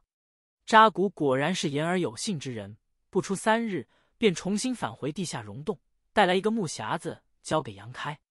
杨开伸手接过，打开匣子一瞧，里面确实装着一枚玄牝灵果。多谢扎古兄了。杨开抱拳一声。扎古摆手道：“谢就不必了，咱们也是一桩交易。你尽快炼化了这玄牝灵果，修补好自身小乾坤要紧。正有此意，那我先不打扰你，等你这边一切妥当，通知我便可。”杨开点点头，扎古转身朝外行去。等他走后，杨开才取出那玄牝灵果。虽说小乾坤中子树一直在自我修补着小乾坤，如今已有了一些成效。可毕竟进展缓慢，杨开也没那么多功夫可以耽搁。眼下有了玄牝灵果相助，小乾坤的恢复速度应该会更快一些。没有犹豫，直接将那玄牝灵果吞服入腹，默默炼化着。很快，便有一股热流自腹内升腾而起，转而涌入自身小乾坤中。随着玄牝灵果药效的发挥，整个小乾坤的破损都在以肉眼可见的速度弥合。一般武者即便服用了这灵果，见效恐怕也没这么快。杨开也是有世界树子树相助，双管齐下，小乾坤的修补才会这么显著。绕是如此，也足足花了将近三月功夫。当小乾坤彻底完整的那一瞬间，杨开浑身气机鼓荡，内心中一股难以言喻的欢愉生出。小乾坤的破损一直给他一种缺了什么东西的感觉，无论是催动自身力量，还是平日修行，都受到极大的影响。如今小乾坤终于再度完整，那种不适的感觉也随之烟消云散。上次与那刘子安争斗，虽占了上风，却也缠斗良久。如今若再与刘子安交手，杨开自信三拳两脚就能将之解决。小乾坤的破损虽然得以修补，但杨开两度割舍小乾坤疆域所造成的底蕴流逝，却是需要慢慢修行弥补的。这事倒也不急，毕竟开天境的修行本就是岁月的漫长积累。他炼化资源的速度本就比寻常七品快很多，小乾坤内生灵的繁衍生息又无时无刻不在增强他的底蕴。日后只要有时间，他便能以超乎想象的速度成长至八品境界。唯有成就八品，在这墨之战场上方才算得上中流砥柱，而至高九品，则是坐镇一关的定海神针。检视自身，确定没有任何问题，杨开神念涌动，少顷，扎古那庞大的身影。便出现在面前，惊奇的望着他。你好了。此刻杨开给他的感觉明显与之前有所不同。之前的杨开总给人一种不圆润的感觉，如今却没有了。这无疑是小乾坤得到了修补。本章完。第五千一百二十九章，这买卖做的。小说《武炼巅峰》，作者默默。多谢扎古兄出手相助。杨开一抱拳，扎古摆摆手。杨兄客气了，那灵果是你应得的。杨开道：“如今我小乾坤已修补完整，正好方便为扎古兄炼制宝甲。你这边准备好了吗？”扎古回道：“准备了一些材料，不知是否够用。你且看看。”这般说着，递过来一枚空间戒。杨开接过，神念一探，发现这戒指里的好东西还真不少，都是一些珍稀的物资和矿物。够吗？不够的话，我再去找。扎古殷切问道。足够了。杨开收了空间剑，我这就开始为扎古兄炼制宝甲。这段时间还请不要打扰我，攻城之日自会告知。扎古自无不允，很快退去。在碧落关修行炼器之道的时候，杨开也炼制过一些宝甲，不过在柴浩的眼光看来都不堪大用，毕竟品阶不够。真要是让人族将士穿着这样的宝甲上了战场，也是对他们的不负责。但在人族那边不堪大用的东西，放在墨族这里可就是好东西了。所以杨开也不需要炼制出什么不得了的精品，只需保证宝甲的品质不输给那大戟便可。而以他如今在炼器术上的造诣，这点保证还是可以满足的。精炼那大戟足足花了三月时间，而重新炼制一件宝甲，杨开却只用了两月便大功告成。之所以消耗的时间更短一些。一则是他小乾坤修补完善，催动自身力量更加圆润自如，能事半功倍；二则也是在不断的练气中，他自身练气术也在飞速成长。虽说在碧落关苦修练气术十年时间，但对于一个练气师来说，十年功夫还是太短了，不足以让一个练气师完全成长起来。柴浩在这十年内，将自身所掌握的练气之道悉数传授给了杨开，直到最后。教无可教，这并不是说杨开在炼气术上的造诣已经达到了柴浩的水准。想到达到他这种宗师级别，不花个几百年时间钻研是不可能做到的。只是柴浩已经教不了杨开更多的东西，他所懂的杨开都已知晓。至于杨开能将自身所掌握的炼气之道发挥出来多少，那就要看杨开自身的成长了。而这种成长。正是需要不断的练气来磨砺，所以炼制宝甲时，杨开的炼气水准要比之前高出一些；而炼制宝甲之后，则又有成长，最终炼制出来的宝甲品质明显比那大戟超出一截，通体泛着淡淡宝光，一看便极为不俗。以神念换来扎古，扎古迫不及待的将这宝甲穿戴在身，发现竟是极为贴身，宝甲护住了胸腹。后背处等要害位置，让他本就魁梧的身形显得愈发威猛。扎古越看越是满意，忍不住一阵眉飞色舞。辅以这宝甲，再加上那大戟，扎古觉得自己一身领主级别的实力，平白提升了三四成之多。以前碰到人族的七品开天，单打独斗根本不是对手。如今有了二宝在手，扎古觉得不管哪个人族七品在面前，都能一戟戳个对穿。原来人族秘宝能带来的提升竟是如此巨大，扎古忍不住有些心绪难平。战场上基本上只能看到人族催动秘宝的威能，墨族大多都是赤手空拳，怪不得一次次战役都是墨族打输了，原来都是吃了没有秘宝的亏。若是能用秘宝将墨族大军也装备起来，人族岂是对手？扎古兄可还满意？杨开忽然开口问道：“满意。”满意，扎古不住的颔首，嘴巴都快笑得裂开了。那杨某也算是幸不辱命。杨开徐徐起身，此件事了，我就先行告辞了。扎古一惊，杨兄这是要去哪？杨开道：“自然是回玉主大人的古堡。我出来也有一段时间了，来此本就是为了玄聘灵果。如今得偿所愿，也帮扎古兄炼制了一套秘宝，该回去了。不忙走，不忙走。”扎古连忙拦住，杨开一脸不解的望着他：“扎古兄还有何事？”扎古犹豫了一阵，这才开口道：“杨兄，此前你来找我的时候，不是要我教你一条生财之道吗？我仔细想了想，眼下便有一条极好的生财之道。”杨开失笑：“扎古兄所说是帮墨族这边练气吧？”“正是。”扎古正色颔首：“杨兄，你的手艺没话说。”若是能帮墨族炼气，必能赚得大把墨币。你最初来此的目的，不就是这个？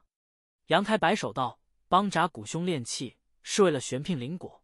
如今我小乾坤已得圆满，就不必再继续下去了。炼气一道，太消耗时间。杨某还是一心武道要紧，如此日后追随玉主大人，在战场上也能帮得上忙。扎古摇头道：“杨兄这话说的不对，你自行修行，提升的是一人之力；若是能帮墨族炼气，提升的可是很多人的力量。这也是在帮玉主大人。而且，我相信玉主大人更愿意看到后一种情况。话虽如此，可是我，杨兄，你就算去修行。”也得有资源吧？如今你手上有修行的物资吗？杨开张了张嘴，一副被问得哑口无言的样子，好一会才颓然道：“没有。”这就是了。扎古一副语重心长的样子：“你们人族有句话，叫什么？工欲善其事，必先利其器。你要修行，自然是得购买大量修行物资。可你手上又没有墨币，怎么办？帮人炼气。”自然会得到大量酬劳。杨开嘴角微抽，扎古兄真是博学古今，连人族这边的谚语都能随口道来。扎古一笑道：“这些都是从我以前那个墨图口中听说的。只不过杨兄，我之所言句句发自肺腑，可不是害你，这是自然。”杨开眉头紧皱，陷入沉思。扎古道：“这还需要考虑什么吗？若是杨兄愿意帮人炼气。”我这就可以给你找来门路。不说别的，我认识的领主也有不少，相信他们对秘宝这东西肯定很感兴趣。杨开迟疑道：“可是我已经离开古堡那边很久了，一直不回去的话，鬼辽大人怕是有所怪罪。”扎古道：“你是狱主大人的墨徒，狱主大人不在，谁又能管得了你？鬼辽大人也管不到。这样啊？”杨开一副心动的表情。若是按扎古兄所说。我帮那些领主炼气，材料由他们出，该收取什么费用才好呢？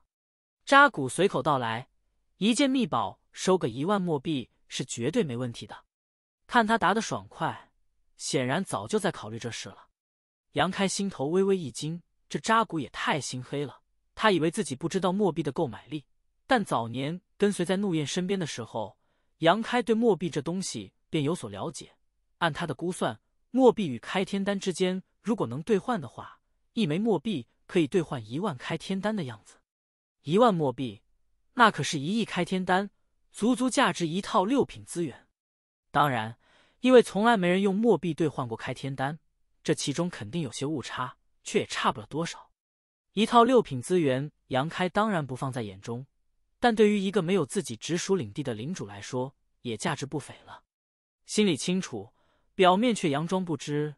这个一万墨币，于我来说，能买什么东西？果然，扎古沉声道：“一套六品的修行资源。”杨开倒吸一口凉气，一副被惊到的样子。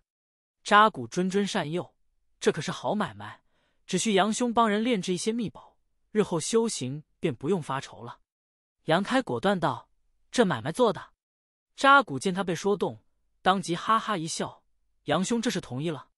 杨开颔首道：“如此好事，怎能不同意？不过如果要炼气的话，还需借助扎古兄这里的地火之力。另外，还需要扎古兄帮我联络那些领主。毕竟我一个墨徒出面有些不太方便。放心，这些事我自会给你办妥。”扎古一副鞍前马后的架势。杨开自然不是没眼力的，当即道：“这样，日后炼气所得，我与扎古兄五五分账。”扎古一惊。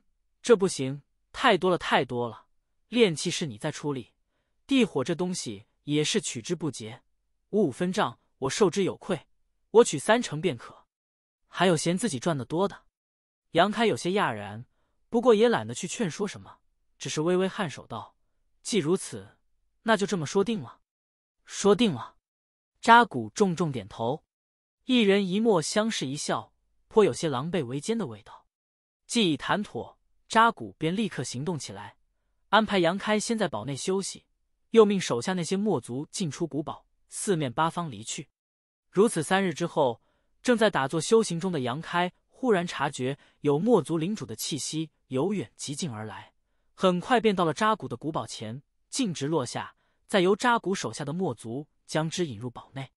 这个墨族领主的到来只是个开始，在接下来的半日时间内，不断的有领主从四面八方赶来。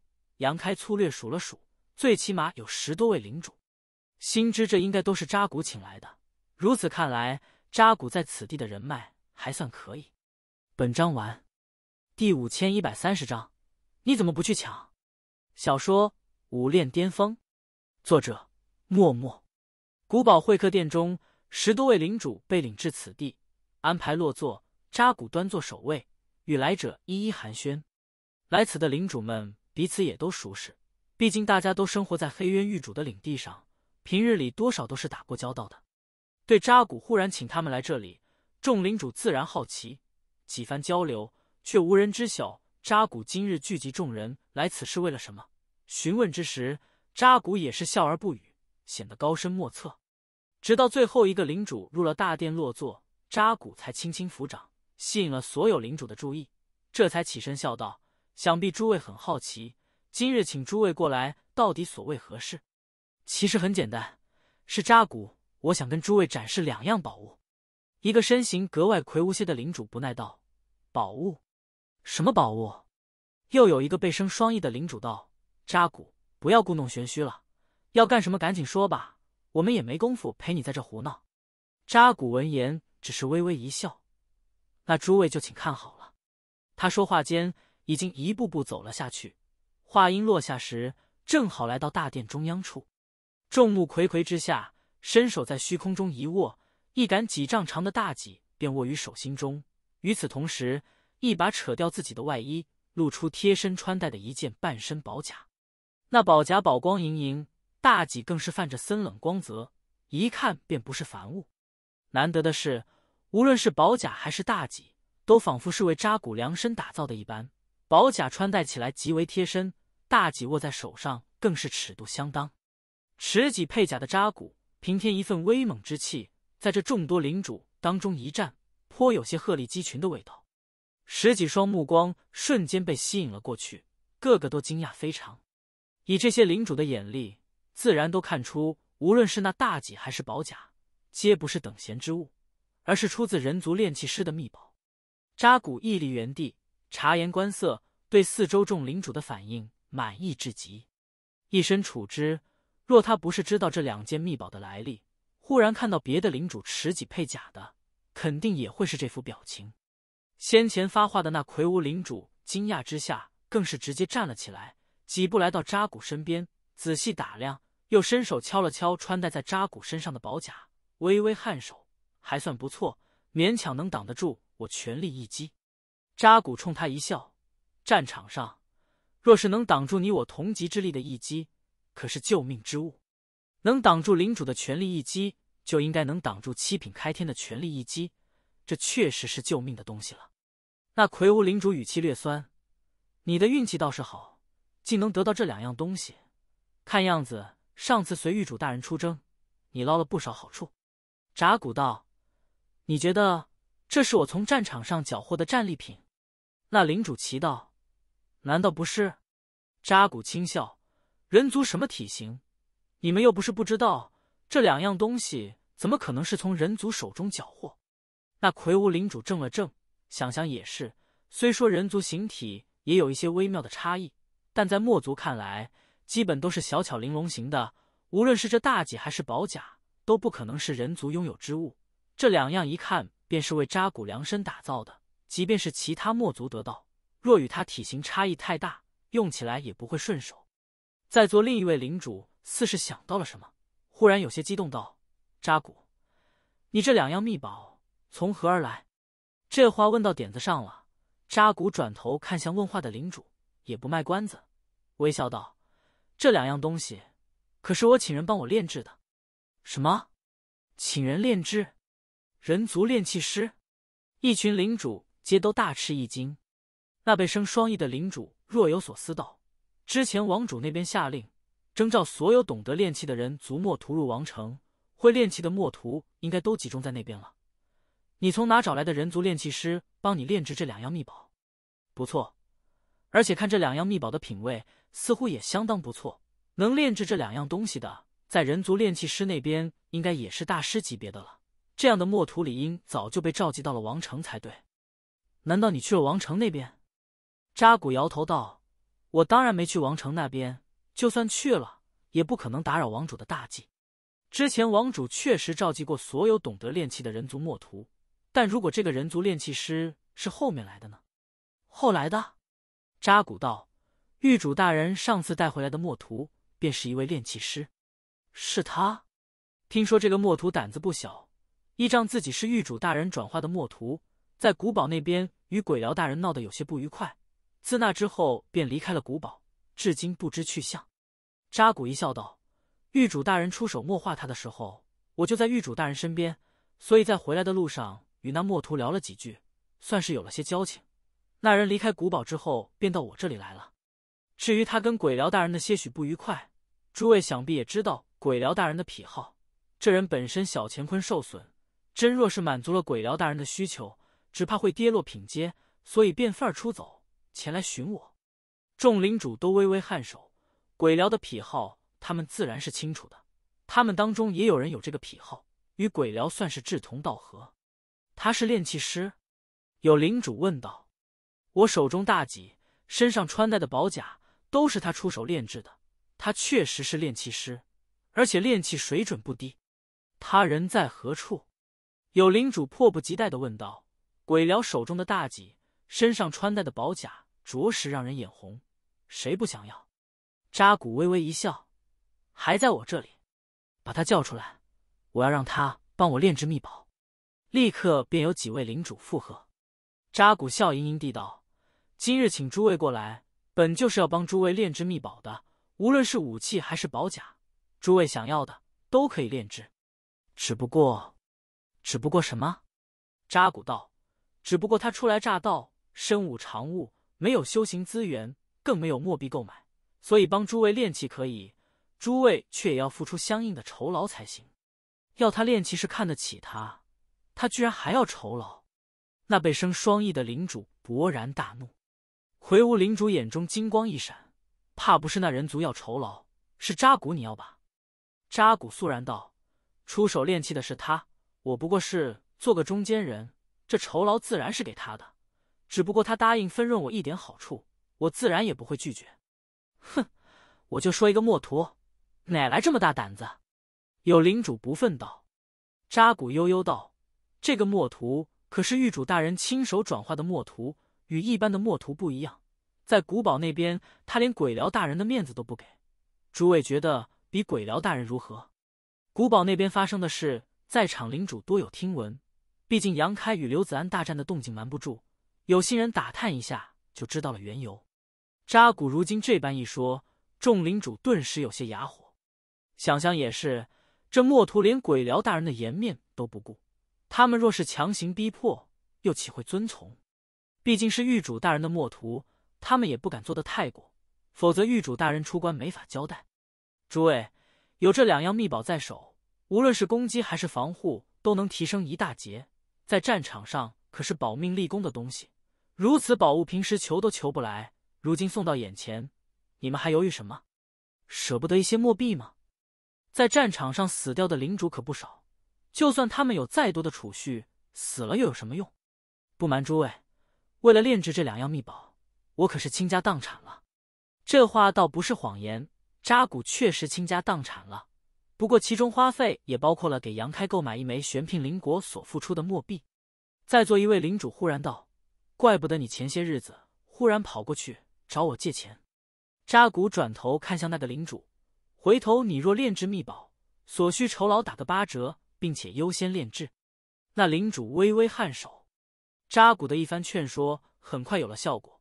事实上，正如扎古所说，秘宝这东西是平日里求都求不来的东西。如今有了机会，谁又舍得放弃？众领主所不忿的，无非是一个墨徒炼器，居然还要收受酬劳。不过与立功保命这样的诱惑比较起来，酬劳什么的倒也没关系。当下便有一个领主开口问道：“那墨图的酬劳要怎么收取？”扎古想都不想。一件秘宝，材料自出，酬劳费用两万墨币。什么？两万墨币？你怎么不去抢？扎古，你在开玩笑吗？一群领主激愤不已。要知道，两万墨币对他们来说也不是小数目，虽说大家都拿得出来，但这只是一件秘宝而已。若是想炼制两件，那岂不是要四万？他们这些领主依托在域主的领地中生存，还没有本事获得属于自己的独立封地，资产自然不会太富裕。四万墨币再加上炼器所需要的材料付出去，基本上家底就空了。面对群情激愤，扎古只是笑而不语。他知道，这些领主纵然叫嚷的再如何凶狠，还是会屈服的，因为能帮他们炼制秘宝的墨图太少太少了。就算以前有，基本上也轮不到他们这些领主。本章完，第五千一百三十一章：进士炼器师，元旦快乐。小说《武炼巅峰》，作者：默默。扎古在杨开面前说的是一件秘宝，收受一万墨币的酬劳，在杨开看来。已经不少了，但在这些领主面前，他却一口将数目提升两倍。这其中的小心思已经显而易见。若非如此，他之前又怎会那么极力促成此事？没有好处的事，扎古也不会愿意去做。如此一来，炼成一件秘宝的话，按他与杨开的约定，只需交给杨开七千墨币便可，而他自己却可独得一万三千墨币，比杨开这个出力的赚的还多一些。自杨开帮他炼制了那两件秘宝之时，扎古便已看到了一条财路摆在自己眼前。作为一个领主级别的墨族，他又岂能不渴望拥有属于自己的封地？然而，这可是要花费大量墨币的。纵然已经在战场上出生入死数次，却也难有积累。若是这一次能够运筹得当，封地的心愿绝对能够达成。一个领主拥有自己的封地和没有封地是截然不同的。大殿内中，诸多领主吵吵嚷嚷，皆都愤怒。扎古要价高昂，难以承受。扎古置若罔闻，漫步走回自己的座位上落座，好整以暇道：“在座诸位，每位献炼器一件。”一言出，满场寂静。有领主皱眉道：“扎古，这是什么意思？”扎古笑了笑道：“字面上的意思。”众领主面面相觑，搞不明白。扎古为什么忽然有这样一个限制？按道理来说，炼制一件秘宝，收受两万墨币的酬劳，自然是炼制的越多越好，谁也不会嫌弃自己赚的多。扎古左右观望，神色肃穆。诸位难道以为他能一直帮你们炼器？那被生双翼的领主忽然神色一动，似是想到了什么。你的意思是说？这般说着，伸手指了指天上。扎古微微颔首。十多年前，王城那边忽然召集人族炼器师，但凡只要有点炼器基础的墨徒，都被征召了过去。诸位想必也知道，我麾下原本有一墨徒，也略懂炼器，不过炼器水准不怎么样。即便如此，还是被征召了。王城那边在干什么？我们这些领主都有所耳闻，那可是关乎墨族未来的大计，容不得半点马虎。稍微懂点炼器的墨徒都被征召了过去。那杨开如此精通炼器，又如何能够例外？如今之所以没人管他，主要是消息还没扩散开，而且狱主大人还在疗伤之中。如果我所料不错，待狱主大人出关，知道他是人族炼器师之后，定会将他送到王城那边去参与那项大计的。到时候，你们就算花再多的墨币，也找不到人帮你们炼气了。这一番话说的有理有据，而且是众所周知的事情。众领主皆都颔首，是以在明白眼前面对的局势后，原本还有些舍不得那两万墨币的酬劳，如今倒有些患得患失了。若杨开真被送去王城，他们还真找不到合适的人族炼器师。当下便有领主问道：“扎古，他炼制一件秘宝，大概要花费多久时间？两三个月吧。”扎古回道：“瞧了一眼下方，在座有十几位，每一位炼制一件秘宝。”花费两三个月，大概可以确保在狱主大人出关前，诸位都可得一件秘宝，所以我才会有那样的限制。当然，谁也说不准狱主大人什么时候会出关。若是大人提前出关，说不定在座诸位有些还轮不上。这话一出，有性子急的领主当即便叫嚷道：“两万就两万吧，我要炼制一件。”紧跟着便有领主附和：“我也要一件。”霎时间。大殿中争抢之声此起彼伏，扎古含笑以对，一一应下。好不容易处理妥当，让各位领主回去筹集资源，备好酬劳，扎古才将这些领主送走。看着他们迫不及待的离去的架势，扎古只觉得心情舒畅至极。不到一个时辰功夫，便有领主再度返回，带来了一英炼器材料和两万墨币的酬劳，交于扎古。随后，扎古又亲赴地下溶洞中面见杨开，将那领主的体型和要求告知。杨开默默记下，待扎古走后，专心炼制。接下的日子，杨开一直在地下溶洞中炼器。恢复修行的资源不必操心，扎古这边配备妥当，他只需按要求给那些领主炼制所需的秘宝便可。每炼制一件秘宝，扎古都会交给他七千墨币的酬劳。日复一日的炼器，让杨开在炼器术上的造诣也飞速成长。帮扎古炼制那宝甲的时候，前前后后花费了两个月功夫，待到两年后再炼制一件秘宝，只需四五十天了，而且品质也有所提升。不过，杨开炼制这么久，所炼制的全都是形体巨大的攻击性秘宝，没有一件宝甲的。可见墨族对攻击性的秘宝情有独钟，保命用的宝甲却在其次。两年时间，陆陆续续自杨开手中已诞生了将近二十件秘宝。而随着时间的流逝，领主之间的交流，杨开炼器的名声也逐渐传扬开来，慕名而来的领主愈发多了起来。炼制秘宝的酬劳也节节提升，逐渐涨到了三万墨币一件。值此之时，那些最初被扎古邀请而来的领主们才心里平衡不少，反而觉得自己赚了。而酬劳一事，杨开一直都毫不知情。他这两年只是专心的在地下溶洞中炼器，而且就算他知道了，也不会太在意。他所做的这一切，只是为了更好的实施自己的计划。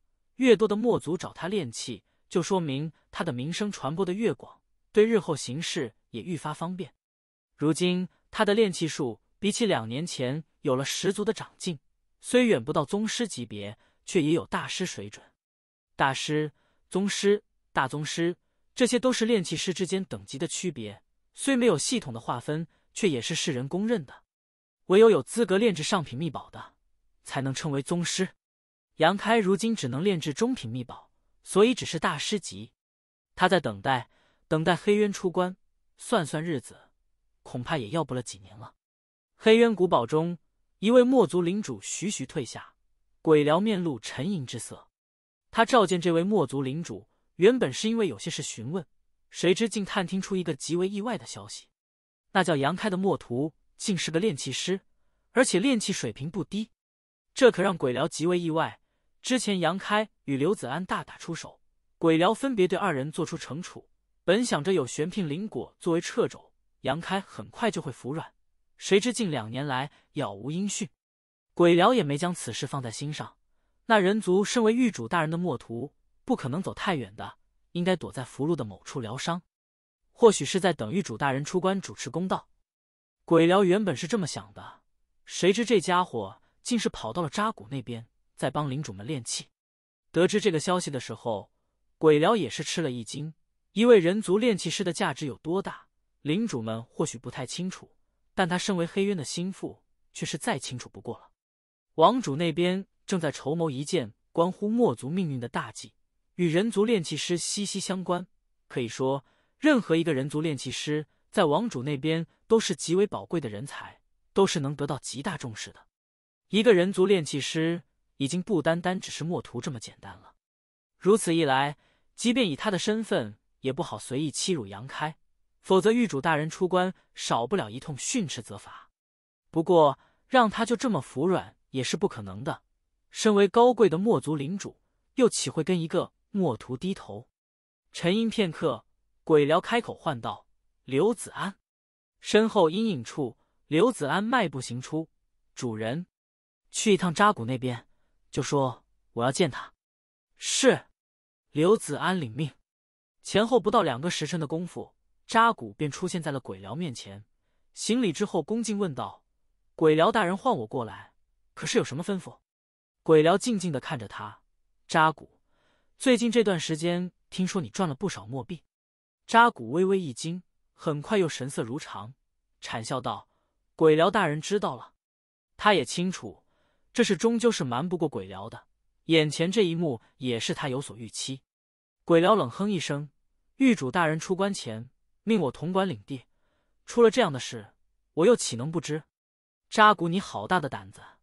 那墨图既是个炼气师，你为何不立刻禀告，反而留他在你那边练气？扎古微微躬身道：“鬼辽大人，那人族毕竟是狱主大人的墨图，想留在我那边，我也不好赶他走啊。”鬼辽冷笑不迭：“是舍不得他走吧？三万墨币一件秘宝，可是你很久都赚不到的。”扎古讪笑不已：“鬼辽大人明鉴。”你给那人族多少？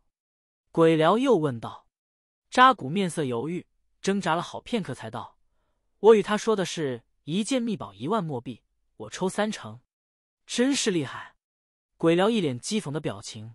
他辛苦炼制一件秘宝的七千墨币，你却能得两万三，你对他还真是不错。你就不怕他回头知道了，在狱主大人那边告发你？扎古脸色一白，狱主大人。不至于理会这种小事吧？鬼辽老神在在道：“那可说不准，毕竟狱主大人可是极为看重他的。”本章完，第五千一百三十二章鬼聊的打算。小说《武炼巅峰》，作者默默。鬼聊一番话让扎古顿时患得患失起来。这两年下来，他从杨开这里赚取的墨币比他一辈子的拼搏还要多，食髓之味。他又如何甘愿放弃到手的利益？但如果真如鬼聊所说，此事叫杨开知晓，待狱主大人出关后告发自己，那可就没法收场了。尽管他觉得狱主大人不至于理会这种小事，可杨开身份毕竟不同，那可是人族炼气师，本身又得狱主大人看重，万一狱主大人要给他出头呢？扎古一脸忧愁的朝鬼辽望去，鬼辽大人的意思是将吃下去的。都吐还给他。鬼辽冷笑不迭，没有回答，反而问道：“扎古，你晋升领主多少年了？”扎古不知鬼辽怎地忽然问起这个，不过还是如实回道：“差不多有三千年了。三千年还在领主这个层次上苦苦挣扎，你就没想要更进一步晋升狱主吗？”扎古肃然道：“哪个领主又没有晋升狱主的志向？可惜没有合适的机会啊。”如人族开天境的修行一样，墨族的修行也是需要积累沉淀的。但人族可以炼化各种修行物资，墨族就不行了。墨族力量的成长，一则依靠吞噬天地伟力，将之转化为自身的墨之力；二是直接吸收墨潮衍生的墨之力，增强自身实力。就如黑渊域主这块领地上无所不在的墨之力，那是由墨潮吞吐滋生而来，每个墨族都可以吸收炼化。这里的墨之力。就相当于三千世界的天地灵气。然而，在这领地上生活的墨族数量实在不少，大家都在吸收炼化，分摊下来，就算扎古再怎么努力刻苦，都吸收不了多少，对自身成长帮助不大。机会，鬼辽微微一笑。狱主大人曾说过，机会这东西不是等来的，而是自己创造的。扎古心头一动，殷切的望着鬼辽。鬼辽大人的意思是？鬼辽忽然话锋一转，目光灼灼的望着他：“你想要自己的封地吗？”一言出，扎古的呼吸都变得急促不少，当即颔首：“自然是想要的。我之所以这么努力的赚取墨币，就是想从玉主大人这里买一座子巢。只是一来，如今玉主大人在疗伤中，墨巢已经关闭；二来，我手上的墨币也不太够。虽说这两年依靠杨开炼气，他赚了个盆满钵满。”但手上积攒的墨币也不过三十万左右而已，这对一个领主级别的墨族来说，已然是一笔庞大的财富了。换算成开天丹，这可是三十亿开天丹。墨族领主对应的是人族七品，这世上鲜少有人族七品能有这么多财富。换到墨族这边也是一样。但想要自己的封地，不但要求实力达到领主级别，还需要拥有一座属于自己的墨巢，这才有资格在狱主这边申请封地。而一座最低档次的墨巢，价值最起码也要五十万墨币。一般的墨族领主穷其一生，也休想积攒这么多财富。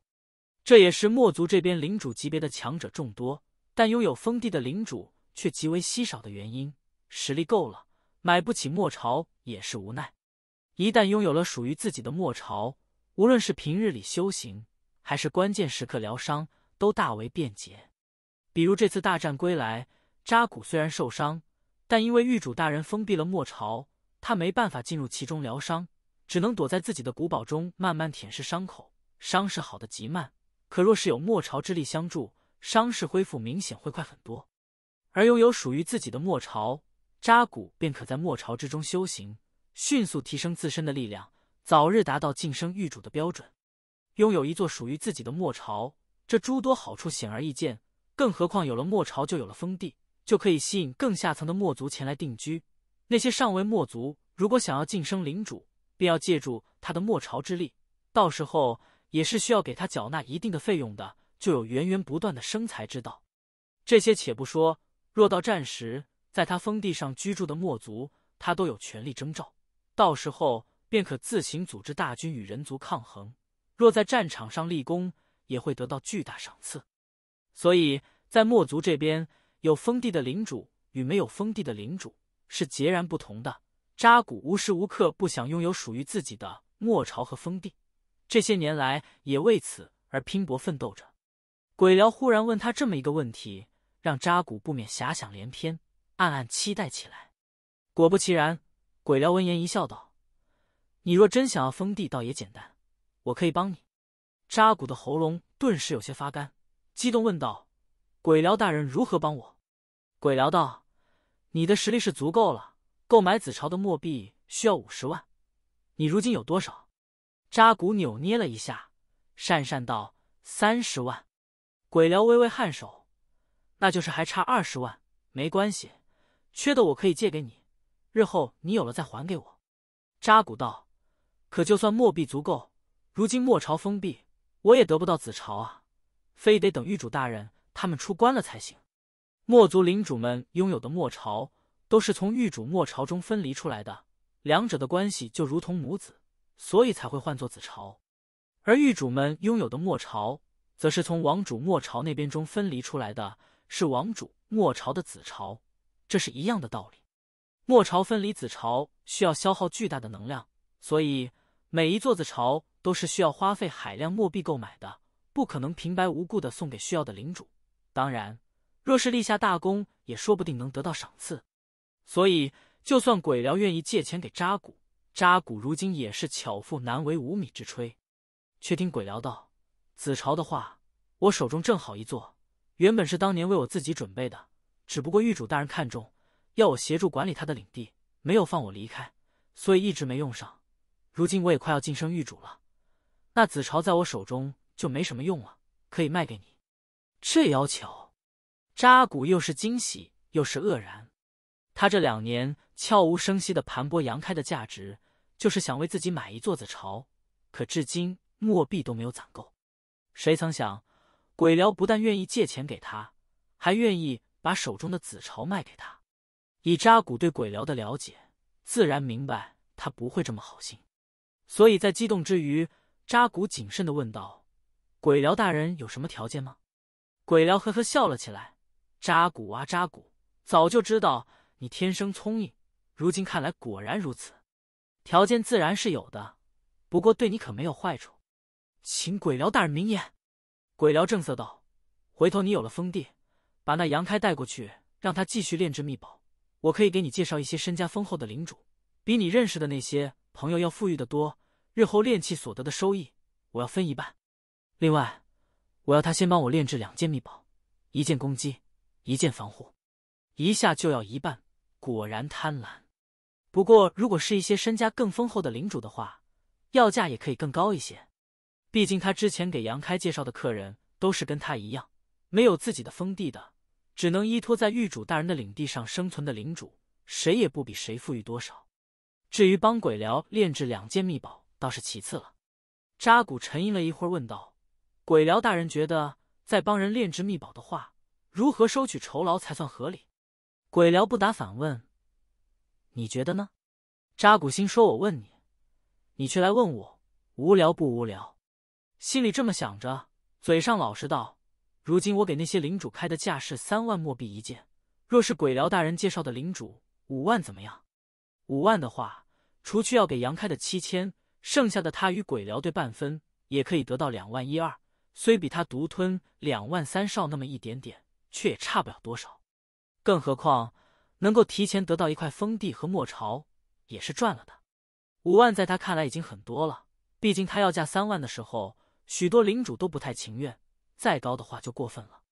十万，鬼辽冷冰冰的吐出两个字：“什么？”扎古几乎怀疑自己是不是听错了，愕然的盯着鬼辽。十万，就这么定了。鬼辽大人，扎古实在忍不住了，这个要价是不是太高了些？有领主愿意为秘宝付出这么大代价吗？鬼辽轻蔑一笑：“不要将你认识的领主和我要给你介绍的客人混为一谈，那可都是一些拥有自己封地的领主。你觉得有能力购买子朝的领主们财力会差到哪去吗？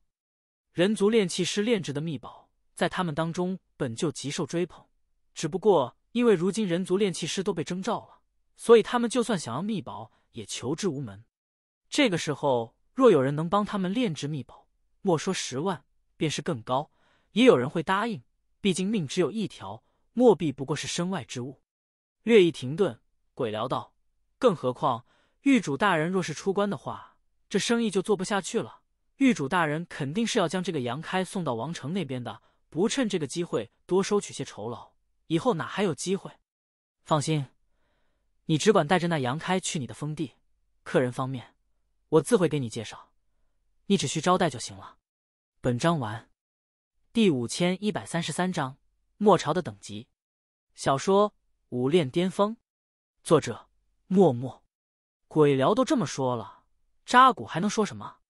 只能点头称是。鬼聊又问道：“封地方面，你可有什么需求？”扎古想了想道：“我本身倒是没有特别的需求，不过杨开若是要炼气的话，好像需要借助一些外力，比如地火之力这种。”不知有什么地方比较合适？鬼辽大人可有推荐？鬼辽闻言，在乾坤图中查探起来，片刻后，伸手在某个方位一点，将乾坤图递给扎古。这一片区域本有一颗大日之星，如今那大日虽死，但内里应该还孕育有大日之力。你的封地便定在这里吧。大日之力比那地火可厉害多了。他说话之时，扎古也在查探，确定了那死去的大日所在，当即颔首道。好，鬼辽又招了招手。刘子安自身后走出，双手捧着一件奇特的匣子。那匣子不知是由何物打造而成，看起来非金非玉，更不知里面装了些什么。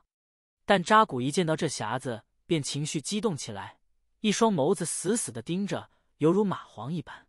鬼辽微笑道：“这子朝你可要收好了，我手上也就这么一座，若是弄丢了，可就没了。”扎古激动接过，连连道谢。这可是成为有封地的领主的关键，也是他多年来梦寐以求之物。怎么也想不到，今日竟这么轻松就到了自己手上。如何孵化？不用我教你吧？鬼辽问道。不用不用。扎古连连摇头，忽又想起一事，为难道：“不过大人，孵化末朝可是需要大量资源或者天地伟力的。我手上……”鬼辽大度的一挥手。那三十万墨币，你拿去买所需之物，应该足够孵化末朝了。购买这子朝的五十万墨币，我先替你垫上，日后再还。多谢鬼辽大人，扎古感激涕零。虽然一下子多了五十万墨币的债务，但对他这样的领主来说，所有的付出都是值得的。心里默默计算了一下，若是鬼辽所说之事真能达成的话，那只要炼制一件秘宝，他就可以分得四五万墨币。到时候。杨开炼制十几件秘宝，这债务就可以完全还清了。不由感慨一声：有这么一位人族炼器师在手，赚钱实在太容易了。也暗自庆幸，幸亏杨开之前跟鬼辽闹得有些不太愉快，否则这种好事哪轮得到自己头上？鬼辽早就一手把控了。而如今鬼辽之所以不出面主持这事，只是暗中协助自己，恐怕也是怕事后暴露，狱主大人追究，如此分润自己好处。也是需要自己来承担风险的。扎古对这一切心知肚明，却甘之如饴。自古堡中走出，扎古还是有些迷迷糊糊的。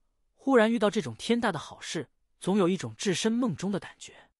封存了子朝的匣子不能被收入空间界，对墨族来说，墨朝也是有生命的。所以扎古先是回了一趟自己的古堡，将匣子郑重收好，在返回狱主大人的领地上，挥金如土，购买了大量天地球和各种品阶的物资。三十万墨币花费一空，扎古的空间界里堆积了海量的资源，心里这才踏实不少。扎古这边准备妥当时，杨开也刚好炼制完一件秘宝，吩咐杨开好好休息。扎古则开始应付那些前来请求炼制秘宝的领主们。既与鬼辽已经谈妥，扎古已经不准备在这里继续浪费时间了。毕竟在这边炼制一件秘宝才三万墨币，而鬼辽那边开出的价格可是十万。相差足足数倍，如何取舍？扎古自有定计。众多领主自然不乐意，但扎古抬出鬼僚来挡，说杨开已被鬼僚召回古堡，领主们也无可奈何。毕竟杨开名义上是狱主大人的墨徒，长久待在扎古这边也不合情理。一切处理妥当，扎古这才召集自己麾下的一些墨族，领着杨开浩浩荡荡朝虚空中进发。半道上。杨开表现的忧心忡忡，扎古兄，我这忽然离开，不与鬼辽大人打声招呼，怕是不妥。扎古笑呵呵地道：“杨兄不必担心，鬼辽大人那边我已经打过招呼了，他也知道你最近这两年一直待在我这边。鬼辽大人可有说什么？”扎古摇头道：“鬼辽大人统管诸事，忙得很，哪有功夫理会一些闲琐之事？”杨开微微颔首，不解道：“那就好。”咱们这是去哪？扎古精神焕发，去我的封地。杨开点头表示了然。扎古见他反应平平，微笑解释道：“杨兄身为人族，怕是不知道封地对一个墨族的意义。”杨开还真不太清楚。他虽然跟着怒焰在墨族腹地生活过两年，但怒焰本身只是个相当于六品开天的上位墨族，而且那两年也是一直跟着怒焰在各处领地游窜。在雪斗场赚取墨币罢了。墨族内部的事情，他了解的并不全面。事实上，人族与墨族相争这么多年，对墨族内部的事情了解的也极为有限。所以他顺着话便接了下来：“愿闻其详。”扎古一脸感慨的表情。这么说吧，杨兄，有自己封地的领主才是真正的领主啊！那些没有封地的领主，不过是空有其表。杨开不免疑惑，不太懂。扎古呵呵一笑：“你是人族出身，自然不懂。那你可知道为什么墨族领主这么多，但很少有领主拥有属于自己的封地？地盘不够分。”杨开随口答道：“这是他也想过，却想不出什么所以然。”扎古忽然说到此事，他觉得今日应该能解开这个疑惑。扎古闻言怔了下，失笑道：“这也算是一个原因吧。比如说，狱主大人麾下……”领主便数以千计，若是每个领主都能分封领地的话，狱主大人的领地确实不够分。不过最重要的原因还是莫朝。莫朝，杨开扬眉，有些意外。这跟莫朝有什么关系？扎古道：“你们人族虽与墨族抗争了无数年，但恐怕不知墨朝还分等级的吧？你也见过玉主大人的那座墨朝，是不是很大、很壮观？确实。”杨开颔首，墨朝是我墨族的根本，总共分有三个等级：王主墨朝、玉主墨朝和领主墨朝。用你们人族的话来说，可以分为高级、中级和低级。玉主大人的墨朝便是中级。你以为足够大、足够壮观了？若是你见过王主的那座墨朝，就会发现狱主大人的墨朝不过是很小的一座。杨开面色微动，这种事他还是头一次听说。估计人族那边应该也不太清楚这些，心中一动，那领主末朝便是低级末朝。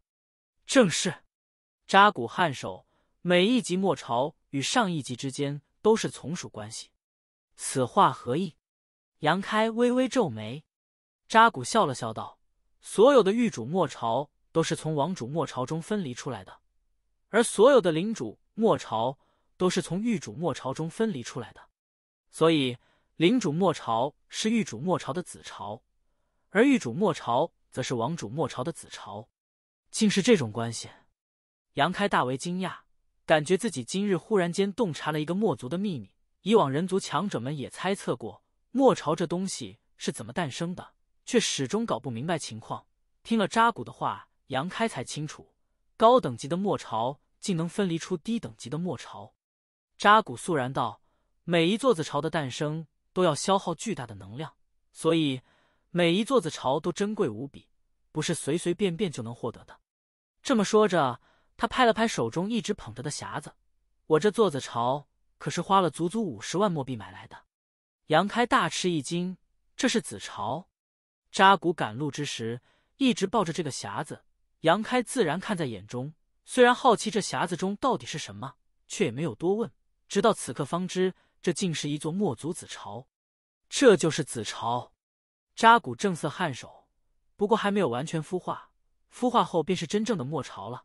不过与你在狱主大人那边见到的相比，肯定是要小很多。毕竟这只是领主级别的墨巢，而有了这座墨巢，我这个领主才算名副其实。说话间。他已开始畅想日后美好的未来。有了墨朝，便可吸引更多的墨族来我的领地定居。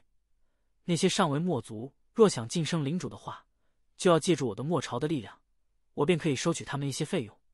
等到日后领地上的居民多了，我还可以征召大军，随着狱主大人出征人族。杨开心思飘忽，头一次知道墨朝这东西居然还要孵化。这东西果然是活的吗？可是要怎么孵化？他是见过不少领主级别的末巢的，一个个都巨大无比。虽然比不上狱主末巢，可怎么想也不是一个匣子能装得下的东西。很多疑惑翻涌上来，杨开斟酌问道：“扎古兄，你说那些上位末族若想晋升领主，便要借助你这末巢；你若是要晋升狱主呢？”扎古道：“那自然是要借助狱主莫朝，就是狱主大人那一座。”我这个莫朝等级太低，不足以支持狱主的晋升。杨开了然，换言之，低级莫朝可以支持末族晋升领主，中级末朝足以支撑晋升狱主，唯有那高级的才能晋升成王主。本章完。第五千一百三十四章孵化末朝。小说《武炼巅峰》，作者：默默。墨族的末朝分等级，各自针对不同等级的墨族强者。层次极为分明。杨开想了想，又问道：“领主末朝还可以再分离出子朝吗？”扎古失笑摇头：“领主末朝便是最低级的末朝了，如何还能再分离子朝？那王主墨朝又是谁的子朝？”扎古被问的一怔：“王主墨朝已是最高级的末朝了。”杨开皱眉道：“可如扎古兄之前所言，所有的末朝都是从高一级的末朝中分离出来的。”这么说来，末朝总有一个源头才对，这源头在何处？扎古扭头望着杨开，一脸茫然，好一会才失笑道：“杨兄把我问糊涂了，我也不知末朝的源头在何处。不过据我所知，王主末朝确实已经是最高级的末朝了，再没有更高级的，或许王主末朝便是源头吧。”杨开点点头，也只能认可这个说法，不在这个问题上多做纠缠。杨开转好奇的打量那被扎古一直捧在手上的匣子，扎古兄，这东西到底要如何孵化，才能变成一座真正的末巢？扎古呵呵一笑，道：“到时候杨兄自然知晓。”一路闲聊，一路前行。约莫数日之后，扎古才忽然驻足，取出乾坤图查探。乾坤图这东西原本是人族炼制出来的，不过两族相争无数年。人族的许多东西都已流传到了墨族这边，比如说飞行秘宝，还有这乾坤图，就是这里了。扎古确定了自身位置，一脸精神焕发地道：“以此为中心，全力飞驰半日路程，皆算是我的封地。”杨开微微讶然：“扎古兄的封地可不小。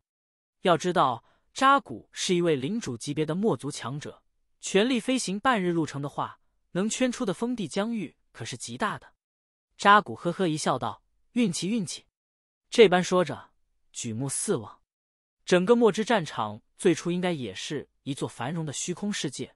不过因为墨族的特性，所以如今这墨之战场中便是死去的乾坤世界。如今呈现在视野中，便有几座死气沉沉的乾坤和符箓残片。扎古很快选定了一个目标，朝其中一个不算大也不算小的乾坤世界飞落而去。少顷。一行便落在这乾坤世界上，整个世界一片死气沉沉，了无生机。杨开甚至从中感受不到半点天地伟力，这也在意料之中，没什么好惊讶的。就选这里了。扎古左右观望一下，对这里却是极为满意。说话间，郑重至极的将一直抱在怀里的匣子轻轻放下。那匣子不大，看起来四四方方，但貌似极沉。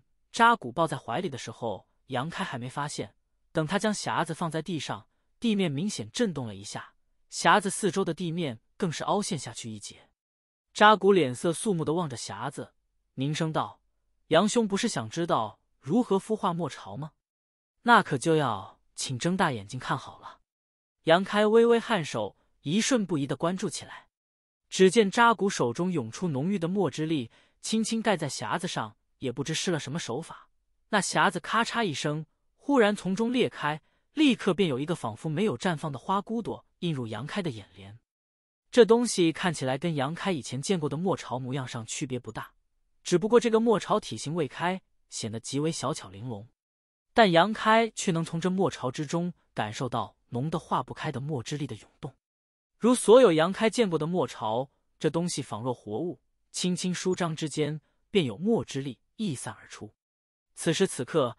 扎古带来的那诸多手下都已退到了一旁，无人号令，齐齐跪倒一地，对着莫朝所在的方向夸张的拜服行礼，神态虔诚，口中还念念有词，仿佛在举行什么仪式。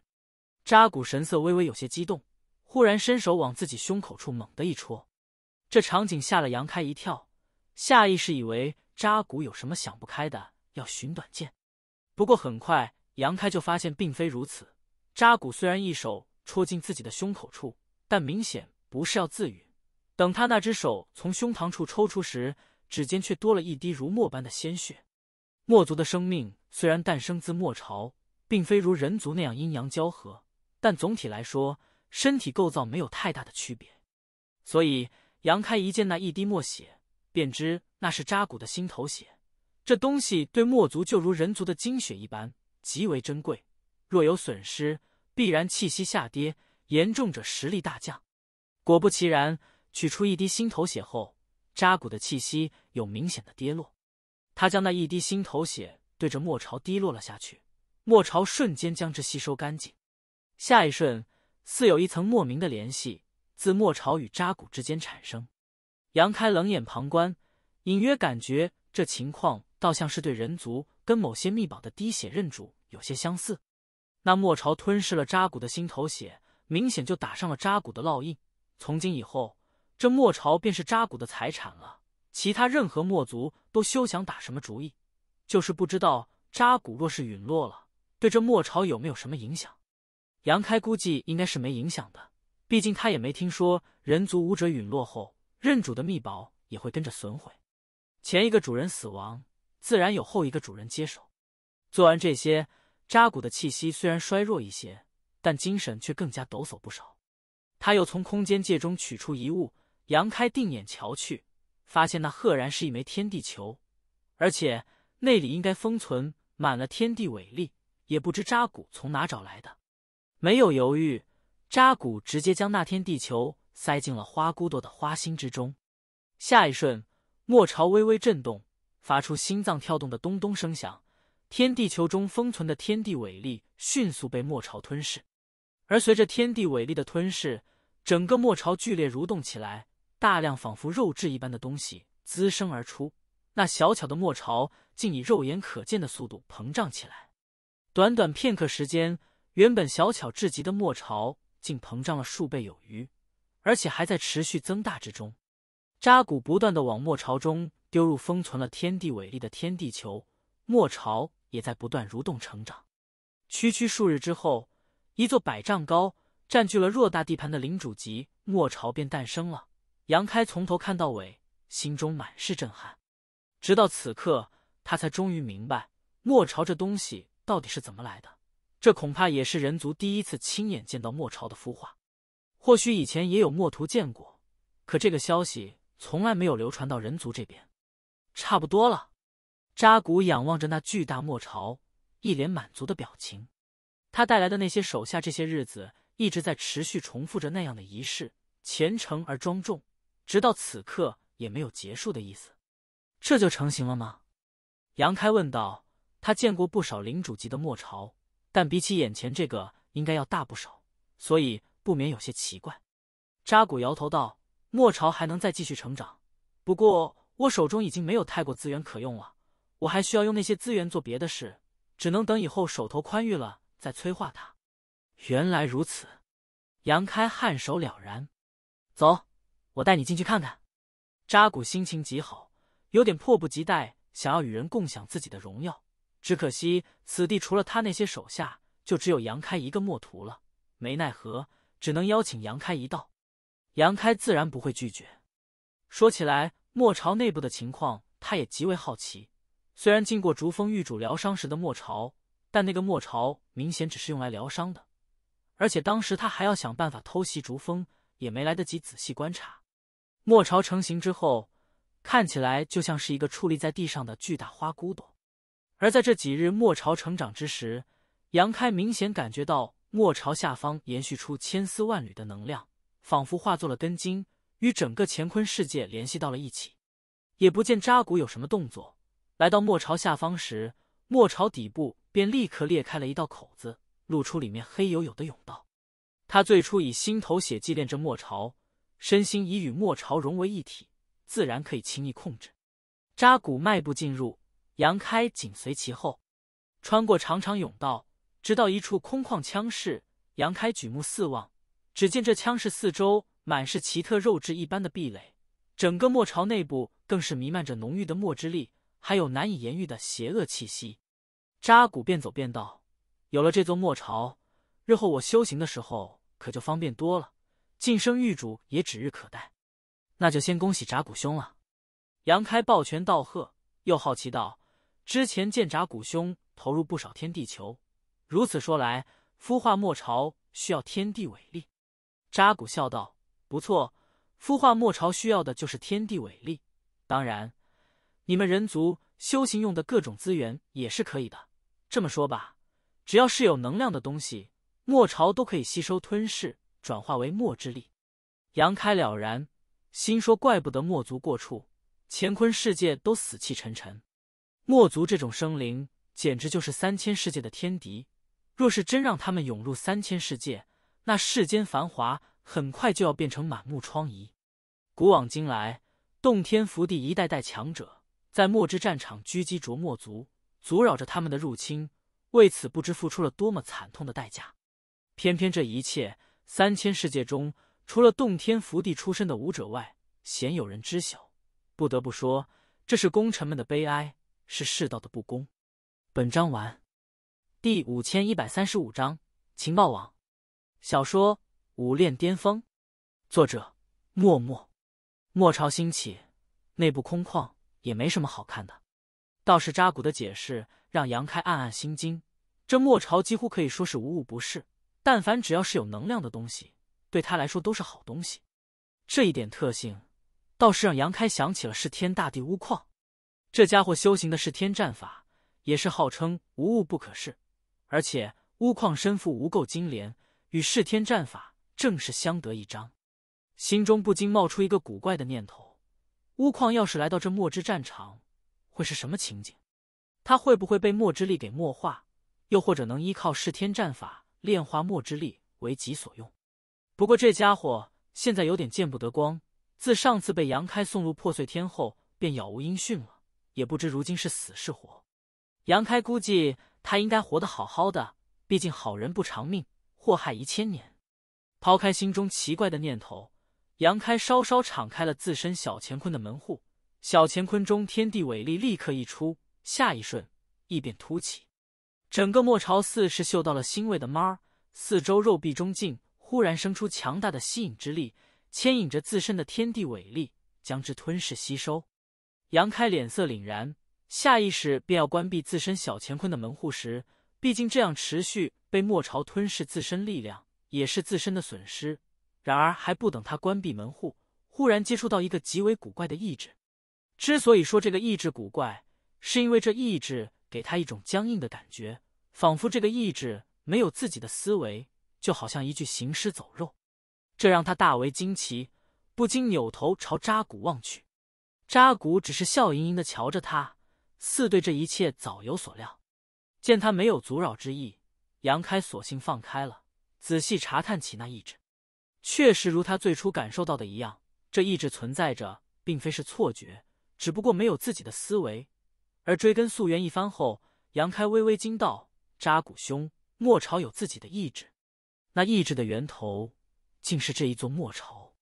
扎古含笑道：“莫朝当然有自己的意志，所有的莫朝都有自己的意志，只不过莫朝的意志只是一个载体，不会表达任何自己的想法。”载体？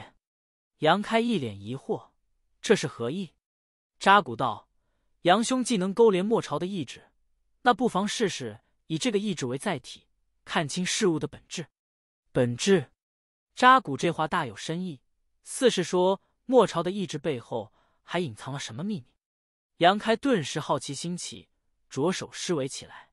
这也是了解墨族一些秘密的最好机会。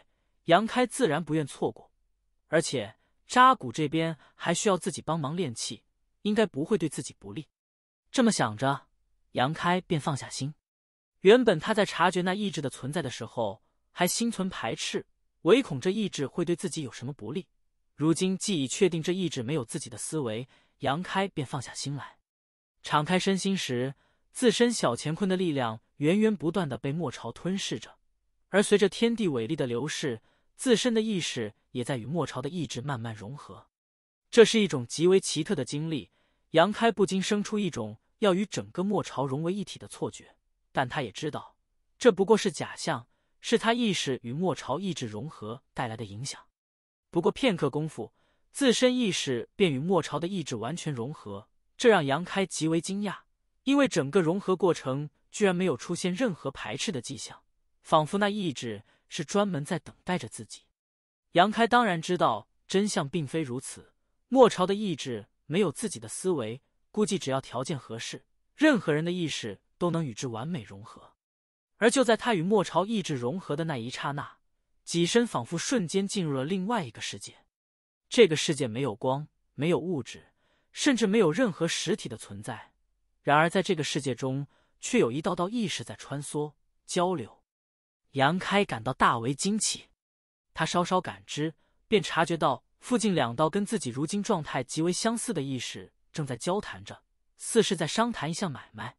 那买卖关系到许多珍稀的物资和墨族奴仆，在感知别处，有些意识之间的交流，他能清楚的感知到；有些意识却仿佛隔绝了旁人的查探，任何企图窥视者都能引起敌意。杨开的意识穿梭在这个奇特的世界中，见到了形形色色的别的意识的存在。这些意识有些如他一样在四处闲逛，也有些停留原地，敞开身心。接收着来自各处的可接收信息，更有许多正在彼此交流。很快，杨开便察觉到另一个让他在意的事情：这所有的意识似都在一个巨大的载体上活动着，而这个载体竟又是一个没有自我思维的意志。只不过，这个没有思维的意志比扎古莫朝的意志更加庞大。咦，新的气息！就在杨开若有所思时，一个游荡的意识忽然关注到了他。很快凑了过来，对着他问道：“你是哪一位？怎么以前没见过？”杨开顿时有些抓瞎，不知该如何回答。总不能说自己是人族墨图。这边的动静吸引了四周不少意识的关注。杨开很快便感觉到，承载着自己意识的莫朝意志，仿佛被无数双眼睛盯住了。他连忙从这奇特的世界中抽身而出，断开了自身意识与莫朝意志之间的联系。扎古一直站在他身旁，静静的看着他。见他终于有了动静，才笑道：“好玩吗？”杨开神色肃穆：“扎古兄，我所遇到的那些意识。”扎古四知道他在问什么，不等他问完，便道：“都是领主，如我一样，有自己封地的领主。那些意识的情况跟你方才一样，以自家末朝意志为载体，将自身意识融合后，进入了域主末朝的意志领域中。”域主末朝的意志领域，杨开神色一凛，想起了自己后面感知到的那更加庞大的意志。嗯，扎古点点头。域主大人麾下的所有拥有封地的领主，得到的末朝都是从玉主末朝中分离出来的，是玉主末朝的子朝。这些子朝之间，不管隔得多远，只要还处于同一片虚空中，便可互相交流。当然，也需要玉主末朝的意志领域支持。你可以把这个领域当成一个交流的平台。扎古说的复杂，但杨开结合自身方才的经历，又如何不懂其中的奥妙？简单来说，玉主末朝也有自己的意志，那意志同样是没有思维的。这一份意志可以化作一个领域，允许子朝意志的进入。而分封各地的领主们便可以自家子朝的意志为载体，融合自身意识进入这个领域。杨开很快便明白了其中关键，神色凝肃道：“如此一来，一位狱主便可随时得知自己麾下领主们领地的情况，而领主们也可将自家领地的异常动静迅速上报。那是自然，这也是末朝最基本的用途之一。”杨开默然不语，直到今日。他总算搞明白的一件事：当初他伪装墨图跟着怒焰的时候，碧落关人族在老祖的带领下对墨族领地发起了进攻，但没过多久，墨族王主那边就有了反应。杨开一直很好奇，这虚空广袤，王主那边是怎么得到消息的？那么快就有了动作，而且是整个碧落战区的墨族都被调动了起来。事实上，人族那边对这一点也搞不明白，一直猜测。墨族有奇特的传讯手段，类似空间法阵这种东西。但现在看来，墨族之间的传讯手段比起空间法阵可要高明多了。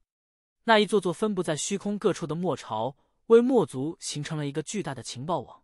只要在这些墨巢笼罩范围内的虚空发生任何事，墨族都能第一时间知晓，而且是全面的知晓。当初人族进攻墨族领地。消息肯定第一时间就通过墨朝传递出去了，所以墨族王主的反击才能那么迅速，墨族大军才能快速集结。怪不得墨朝号称是墨族的根本，单此一点便足见墨朝的重要性。原来墨朝的意志也可以承载你们人族的意识啊！扎古忽然啧啧称奇一声，显然他事先也不知道杨开居然能成功进入狱主莫朝的领域。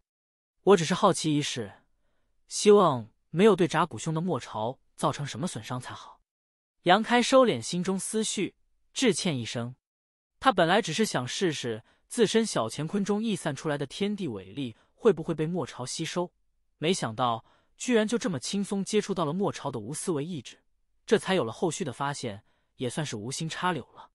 扎古笑道：“没什么，任何一座墨巢的意志都只不过是载体而已，不会有什么损伤的。事实上。”也没有哪个领主会这么闲来无事，时时刻刻待在御主末朝意志的领域中。你所见到的那些意识，大多都是各位领主麾下的得力干将。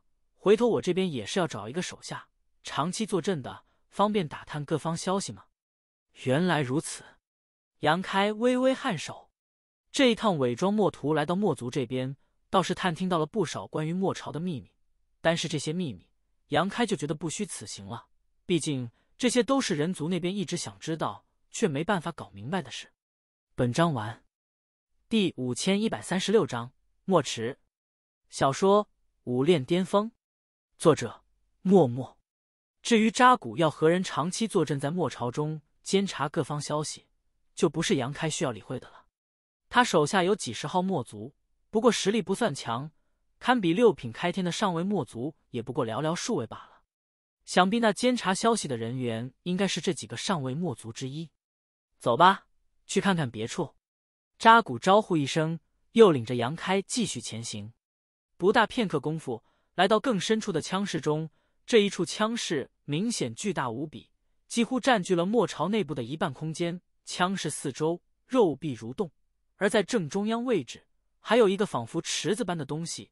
那池子十几丈方圆，内里充满了浓郁的墨之力。扎古直接来到这池子边，凝视着，肃然道：“墨池可以说是我墨族的生命之源了。”墨池，杨开眉头微扬，盯着这池子怔怔出神，却没看出什么玄妙，更不知扎古所说的生命之源是什么意思。不过很快他便明白了。扎古忽然从空间界中取出大量的物资，毫不犹豫的投入到了墨池之中。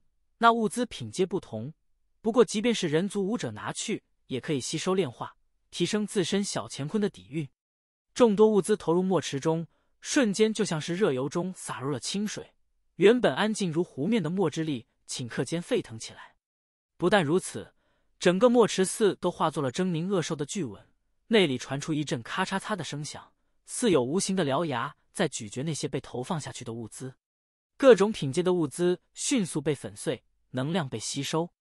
紧接着，墨池四周的地面处，肉眼可见的便有一股又一股的能量朝四面八方流动。杨开诧异的盯着那些流动的能量，只见他们纷纷涌入了此地枪士的肉壁之中。而随着能量的涌入，那本就坎坷不平的肉壁竟鼓起一个又一个大包，仿佛一个个肉瘤，有生命的气息在那肉瘤之中迅速孕育。杨开怔怔出神，肉瘤越来越多，短短不过半个时辰功夫，等扎古将所有的物资都投入墨池之中，那四周枪士的肉壁中竟多出了数百个肉瘤，每一个肉瘤之中都有崭新的生命气息。杨开不禁有些头皮发麻，兀自镇定道：“扎古兄，这些事……”扎古微微一笑：“一两个月后，这些都将是我领地上的子民。”果然如此。虽然早就知道墨族孕育自墨朝之中，但知道归知道，亲眼见到却是另一回事。原来墨族是这样孕育出来的，那一个个肉瘤之中的生命气息，明显都是一个个墨族。而听扎古话中的意思。孕育这些墨族竟只需要一两个月，这速度简直有些耸人听闻。扎古的墨朝还没有彻底成型，他自己也说了，如今手上资源不足，需要另作他用。待日后有更多的资源，再催化墨朝成长。即便没有彻底成型，一次性也能孕育数百墨族。按杨开的估算，若是彻底成型的话，一座领主级的墨朝，只要资源足够，一次性应该可以孕育出上千墨族。一两个月上千，一年便是七八千，十年那就是七八万了，百年之后便是数十万。当然，一位领主手中应该不至于有这么多资源可供挥霍，可即便如此，这个数字也依然可怖。怪不得墨族杀之不尽，各大人族关爱，每一次大战都能将墨族打退，死伤无算。可经过数十上百年的休养生息之后，墨族便又能卷土重来，大军数量丝毫不减。墨朝孕育墨族的方式，便是最根本的原因。意识到这一点，杨开不免心情沉重，肃然道：“扎古兄，这些新出生的墨族大概有什么样的实力？”扎古道：“新出生的墨族自然弱小的很，派不上什么用处的。想要成长到下位墨族的程度，少说也要几十年，再成长两三百年，其中很少一部分才能到上位墨族。在之后，就看他们自己的造化了。”杨开微微颔首，如此看来，这个成长周期虽然比人族要快很多，但也不是难以接受。几十年才能成长到下位墨族的程度，也就是下品开天而已。这样的实力在战场上是发挥不出太大作用的，顶多就是被自家领主当成炮灰，消耗人族强者的力量。一位合格的领主，最起码要在域主大人出征时征召三千可战墨族随行。我这边还早着呢。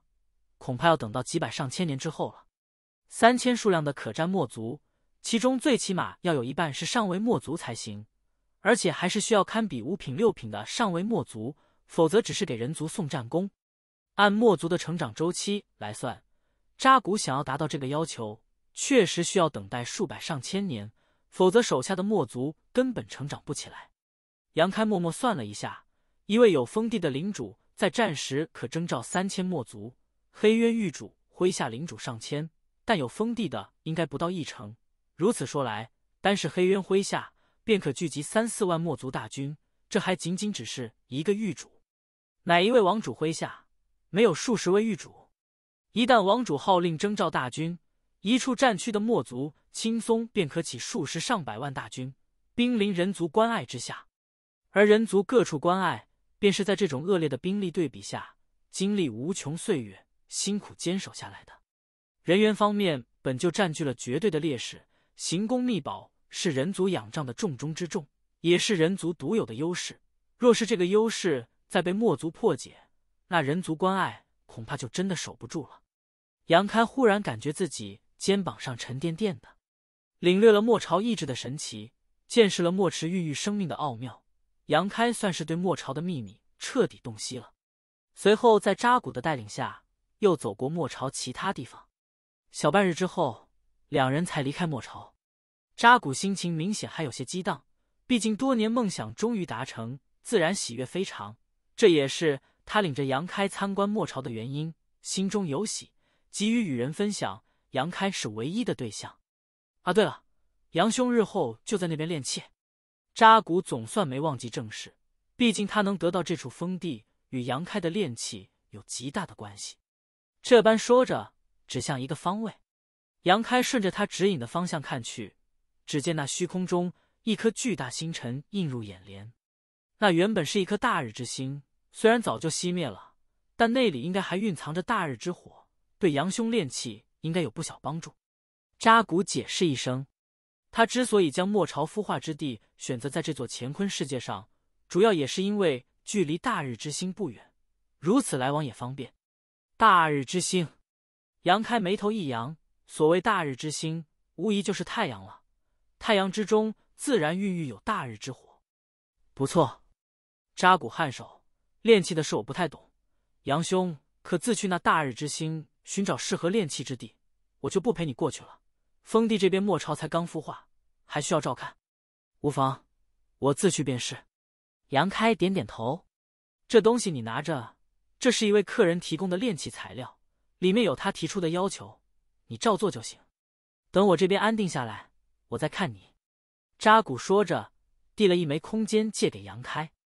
杨开接过，神念探查一番，发现里面确实是炼器的材料，不过数量不少，看样子要炼制的东西不止一样。另外还有一枚玉简，应该就是客人的要求了。辞别扎古，杨开径直朝那大日之星掠去。前后不过一个时辰功夫，便已抵达那大日之星所在。杨开在初入三千世界的时候，便曾遇到过一颗将死的大日之星，凝练到应用的金乌真火，也是从那大日之星中所获。为此，还与老板娘蓝幽若之间产生了种种纠葛，往昔历历在目。转眼已经过去这么多年了。当年他遇到的是一颗将死的大日之星，而如今眼前的这一颗却是早已不知道死去多久了。大日虽死，表面却依然散发着余热，整个世界都是岩浆奔涌凝固后的景象，更有许多地方喷发着难闻的气味，环境无疑是极为恶劣的，一般人根本难以在这种地方生存。不过杨开如今已是七品，这样的环境还是可以忍受的。其实以他自身金乌真火之力。炼气之时，根本无需借助外力，只不过借助外力更能事半功倍。所以很多炼气师在炼气时都喜欢借助外力，炼丹师同样如此。绕着大日飞行了小半圈，很快杨开便看到了一处合适的位置，那仿佛是一座火山的火山口，直通地下深处。杨开径直飞入，前行不久便被凝固的岩浆挡住了去路，祭出苍龙枪，催动自身力量，一路破开路障。往下深入，越是往下，杨开越是能感受到恐怖的热浪席卷。再深入不久，己身竟落入了流淌至人的岩浆之中。由此可见，这大日虽死去不知多久，可内部的力量却没有完全消散。这也正好方便他用来炼气。穿过岩浆的封锁，杨开一路深入到了地核之中，这才以自身力量强行开辟一处空间。这里。已经算是大日之星的最深处了，也是能最方便借助大日之地的地方。杨开观望四周，很是满意。本章完，第五千一百三十七章黑渊出关。小说《武炼巅峰》，作者默默。接下来半月时间，他又耗费了不少心思，在此地布置了一些简单的禁制，一来方便自己借助大日的力量炼气，二来也是固定这一片被自己开辟出来的空间。忙完这些，杨开又恢复了数日养精蓄锐，这才开始练气。将扎古之前交给自己的那玉简取出查探，发现这一次需要炼制的是两件秘宝，一为进攻，二为防护。也不知是哪个墨族需求，不过他也无需理会，只管按照要求炼制便可。借助此地大日之火的力量，炼气的效率比起之前确实有不小提升，更何况。杨开本身的炼气造诣也在不断增长中，前后三个月时间，两件秘宝便已炼制妥当。此时早有墨族在禁之外等候。事实上，那墨族已经来了有半个月了。杨开也早有察觉，不过他一直在炼气中，所以便没去理会。如今炼气完毕，便挥手敞开了禁制，放其入内。一直不敢打扰杨开的墨族察觉，立刻闪身而来，冲杨开抱拳一礼：“杨先生，一个墨徒在墨族这边能得到先生称呼的，恐怕也只有炼气师了。”杨开朝他望去，认出这个墨族是扎古手下中的一位上位墨族，也是跟着扎古从原先的古堡一路来到封地的。微微颔首道：“可是扎古兄有什么吩咐？”那上位墨族立刻上前递过来一枚空间戒。扎古大人说：“这是下一件需要炼制的秘宝，材料、要求和酬劳都在里面了。另外，让我将杨先生炼制好的秘宝取回。”杨开接过空间戒查探，发现确实如他所说，这戒指中有许多炼器的材料，一枚烙印了要求的玉简，还有七千墨币。确认无误，杨开才将之前炼制好的两件秘宝交给他，微微苦笑道：“你家大人这是一点休息的时间都不给我啊！”那上尉墨族陪着笑：“扎古大人说，杨先生炼器技艺精湛，如今许多领主都听说你的名头。”所以都想请你练气，罢了。正好我也要赚取墨币购买修行资源，回去跟你家大人说一声，有要来练气的都接下，我这边没问题。是。那上尉墨族应了一声，又问道：“那下次我什么时候能过来？”杨开略一沉吟：“日后每件秘宝隔两月来一次吧。”目送那上尉墨族离去，杨开将四周禁制重新开启，没有急着去练气。而是从自己的空间界中取出了一套七品资源，默默炼化修行着。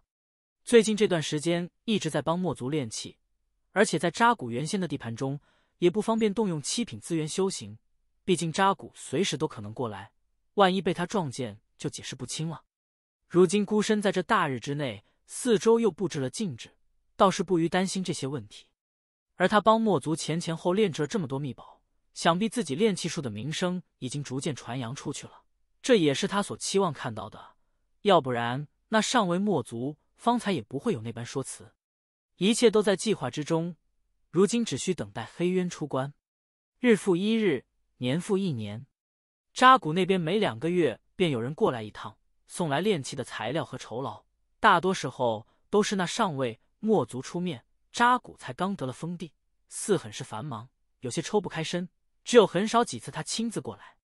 不过也不久留，将装了材料和酬劳的空间戒交给杨开，取走杨开炼制好的秘宝，很快便会离去。如此五年光阴一晃而过，算算之前在扎古古堡内炼气的时间，杨开已经帮墨族炼气了足足七八年了。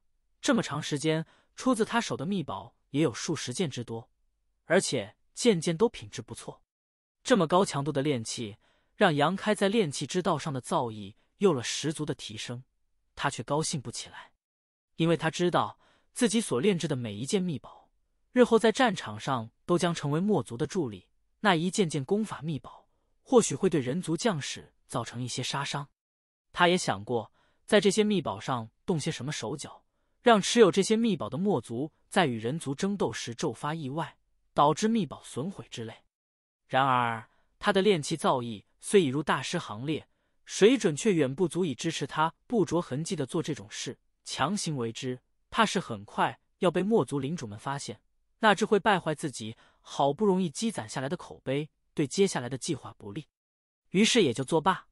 这些年虽然大多数时间都在练气，但每炼制一件秘宝，杨开都会修行一阵子。如此慢慢积累下来，当年因为割舍小乾坤而损失的底蕴，差不多也弥补回来了。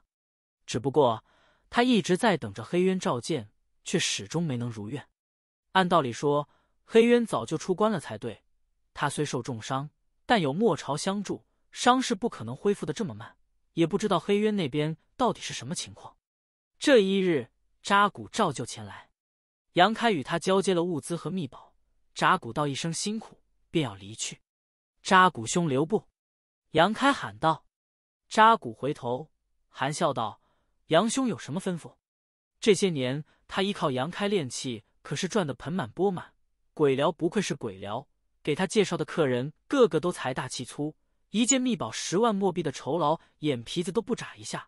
不仅如此，那些领主们更是对杨开炼制的秘宝趋之若鹜。听鬼寮说，如今排队等候炼气的领主还有十几个之多。一件秘宝收取十万酬劳，去掉给杨开的七千，他与鬼寮对半分，每一件都可以得到四五万。当然，十万是鬼寮给他的说辞。扎古甚至怀疑鬼寮那边收取的费用更高一些，不过他也没办法计较这些。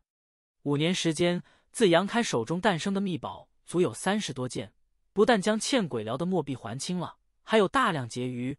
如今扎古一心经营自己的领地，所以赚取的墨币都投在领地上了。如今的封地已经初具规模，不但利用墨巢孕育出数万墨族，还吸引了不少外来的墨族定居，而这一切。几乎都可以说是杨开带给他的。扎古对他如何能不客气？杨开也没绕什么弯子，直言道：“扎古兄，可知狱主大人那边情况如何？是否出关？”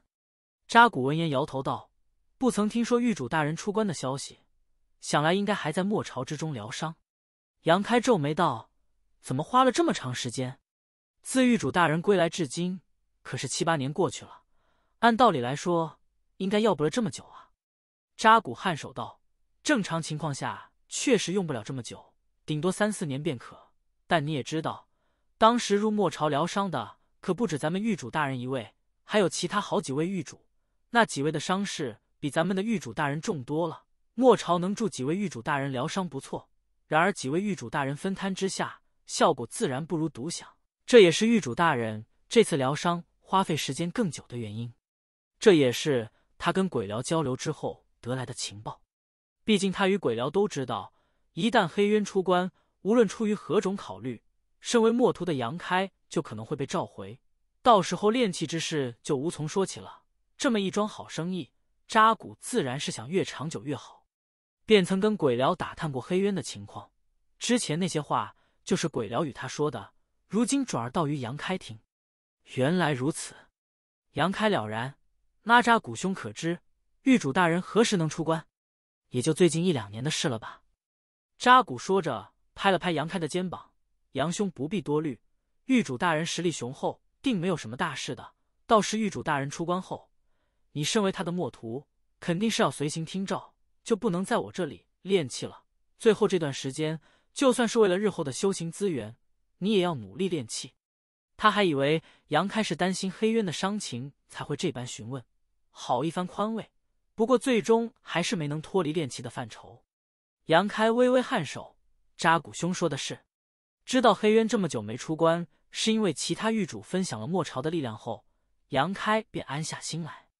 他就怕是出了其他什么意外，比如说黑渊伤重而亡，那事情可能就要生出一些他不愿意看到的波折了。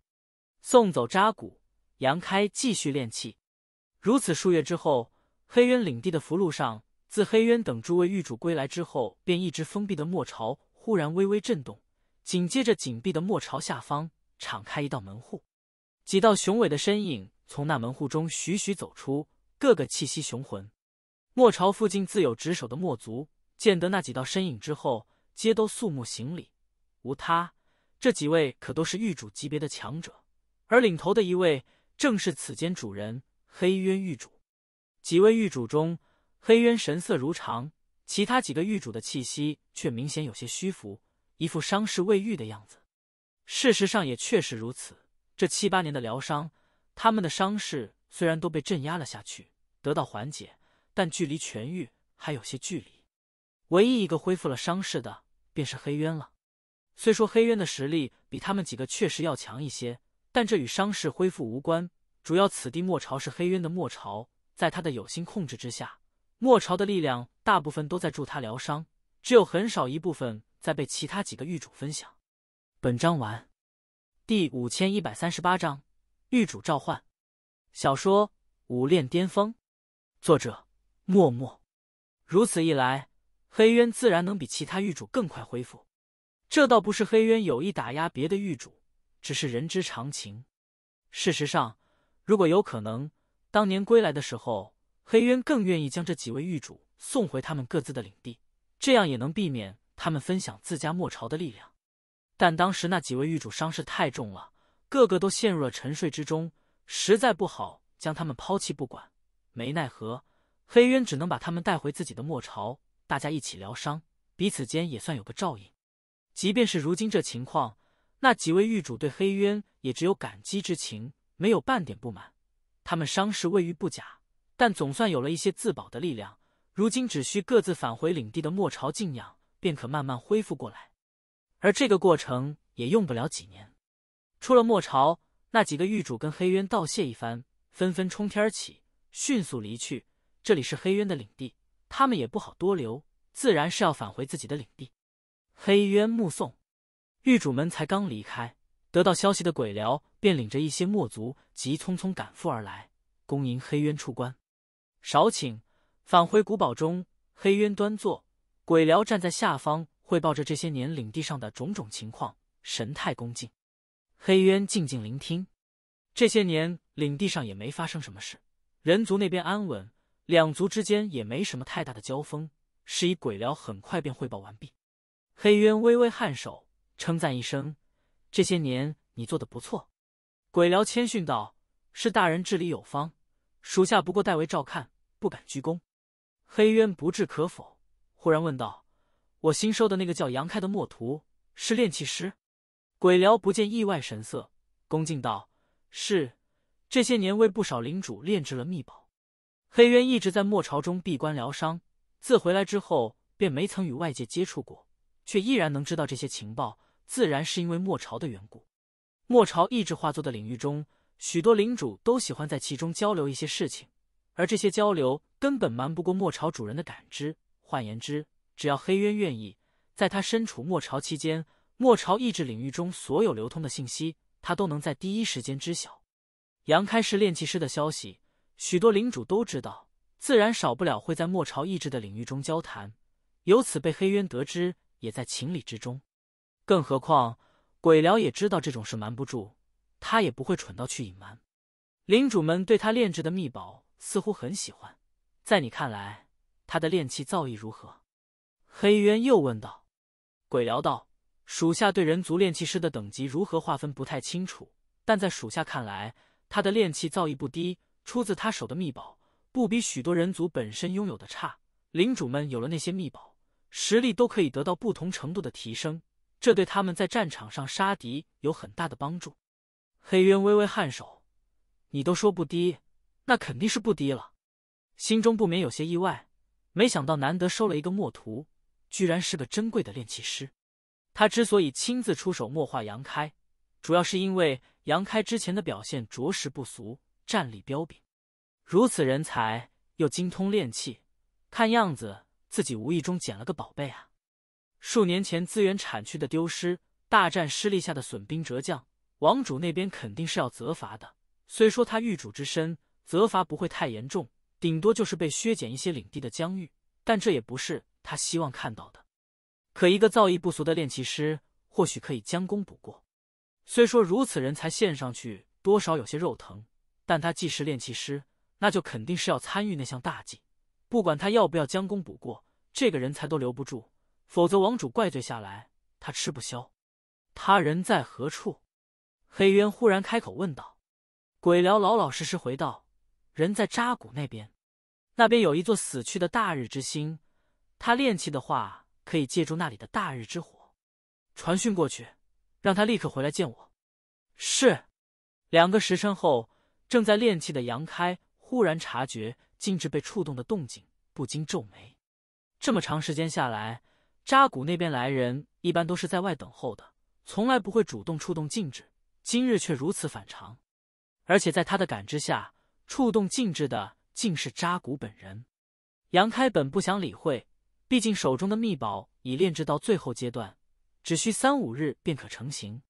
孰料外间扎古等了片刻，不见静止开启，竟直接打破禁制冲了进来。杨开布下的禁制极为简单，并不是什么太厉害的东西。扎古领主级别的修为，想要破开自然轻而易举。这一下，杨开立刻受到了干扰，手中几乎快要成型的秘宝也瞬间在强大的力量下扭曲起来。扎古瞧了一眼，知道定是因为自己方才所为，这秘宝怕是毁了。不过他顾不得许多，立刻开口道：“杨兄，狱主大人出关了，要见你。”大人出关了，杨开有些意外。上次扎古说还要一两年呢，这才半年时间而已。不过既是黑渊召见，杨开无论如何也不可能耽搁的，毕竟身份上他还是黑渊的墨徒。那我这就出发。只是这秘宝，杨开扭头瞧了瞧那已经扭曲的秘宝雏形。扎古道：“无妨，这边损失我会赔偿的，杨兄不必担心。那就有劳扎古兄了。”杨开抱拳一声：“此次狱主大人召见，日后怕是不能再与扎古兄合作炼器了，还望扎古兄珍重。咱们有缘再见，告辞。我送送你。”扎古说道。少请。两人一道掠出那大日之星，扎古又往前送了一阵，这才驻足，塞了一枚空间借给杨开。杨兄，这些年辛苦了，咱们合作也算愉快，一点小小心意，杨兄请收下。这如何使得？杨开便要推辞，扎古却毫不犹豫将戒指塞进他手心。说实话，这些年凭着杨兄的本事，扎古也算赚了一些墨币。这些日子都是你在处理，我也没帮上太多。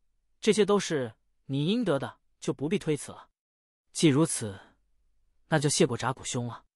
走吧。扎古挥挥手，一脸不忍别离的神色。杨开抱拳，转身离去。望着杨开逐渐消失的身影，扎古重重叹息一声。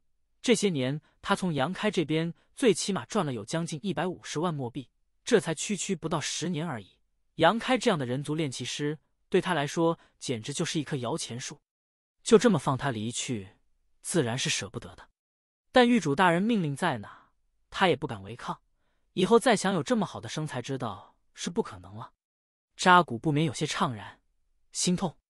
直到杨开在视野中消失许久之后，扎古才狠心转头朝自己的领地飞去。好在如今他的领地已经走上正轨，末朝也彻底孵化完成，日后算是有了立足之本。不再像以前那样空有领主的名义和实力，却没有领主的资本。与扎古分开之后，杨开查探了一下他最后塞到自己手上的空间戒，发现里面装的不过是一万墨币而已，不禁有些哑然失笑。这个扎古还真够小气的。这些年他虽然一直在闷头练气，不知扎古如何收取旁人的费用，但他又如何不清楚扎古没跟自己说实话？只说一点。自己帮扎古练气的时候，他已经一穷二白了。短短两三年时间，他哪来五十万墨币去买一座墨巢子巢？又买了那么多物资来孵化墨巢，这些明显都是靠自己帮他赚来的。换言之，他给自己的报价是假的，绝对不止一件秘宝一万墨币这么少。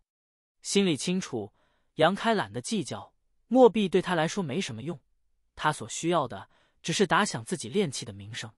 好在如今一切进行的都极为顺利，杨开也无比庆幸，在碧落关那边接这个任务之后，花费了十年时间来学习炼器之道，否则就算他来了墨族这边，也不知该从何处着手。眼下黑渊已经出关，或许已经到了最关键的时候了，杨开也不免有些忐忑。一日后，杨开返回福禄古堡，很快便得到黑渊的召见。大殿中，时隔七八年。杨开总算是再次见到了黑渊狱主，恭敬行礼之后，杨开便站在下方。他能感觉到黑渊的目光在上下审视自己。鬼辽就站在黑渊下手处，低眉顺目，浑不见之前的跋扈。你的小乾坤恢复了？黑渊忽然开口问道。一直安静站着的鬼辽忽然抬起眼帘，静静的盯了杨开一眼。他也没想到，黑渊见到杨开问的第一个问题。居然是这个！说起来，此事还跟他有些牵连。黑渊不在的时候，他可以为所欲为；如今黑渊当面，他还真怕杨开说出什么不利于自己的话来。入目之下，正见杨开朝这边望来，四目相对，鬼辽心里咯噔一声，他有点不好的预感。果不其然，只见杨开冲他咧嘴一笑，抱拳道：“回主人，之前请扎古帮我买了一枚玄牝灵果，服下之后。”小乾坤便已恢复了。黑渊闻言皱眉：“为什么请扎古帮你买那玄牝灵果？”我闭关之前不是让鬼辽帮你寻一枚吗？”杨开淡淡道：“此事要问鬼辽大人了。”黑渊的目光立刻朝鬼辽望去。本章完。第五千一百三十九章进展顺利。小说《武炼巅峰》，作者：默默。鬼辽转过身，冲黑渊微微行礼，解释道：“是这样的，大人，玄牝灵果这东西向来稀少，大人闭关之后，属下便努力寻找了，只不过一时半会也没法找到。因为这事，杨开可能对属下有些误会，几次索要不成，便与属下的墨徒刘子安发生了一些冲突。”属下出面，分别对他二人做了惩罚。自那之后，杨开便赌气出走，直到得狱主大人召唤，方才归来。是这样吗？黑渊不禁皱眉。杨开淡淡道：“鬼辽大人有没有用心寻找，我不知道。我只知道去了扎古那边，以帮他炼制两件秘宝为代价，他三日之内便为我买了一枚玄牝灵果。”鬼辽解释道：“正好那时候领地上才有货。”我也趁机买了一枚，想着等你回来交给你的，可一直都不见你踪影。这般说着，竟从空间界中取出一个匣子，打开来，赫然是一枚玄牝灵果。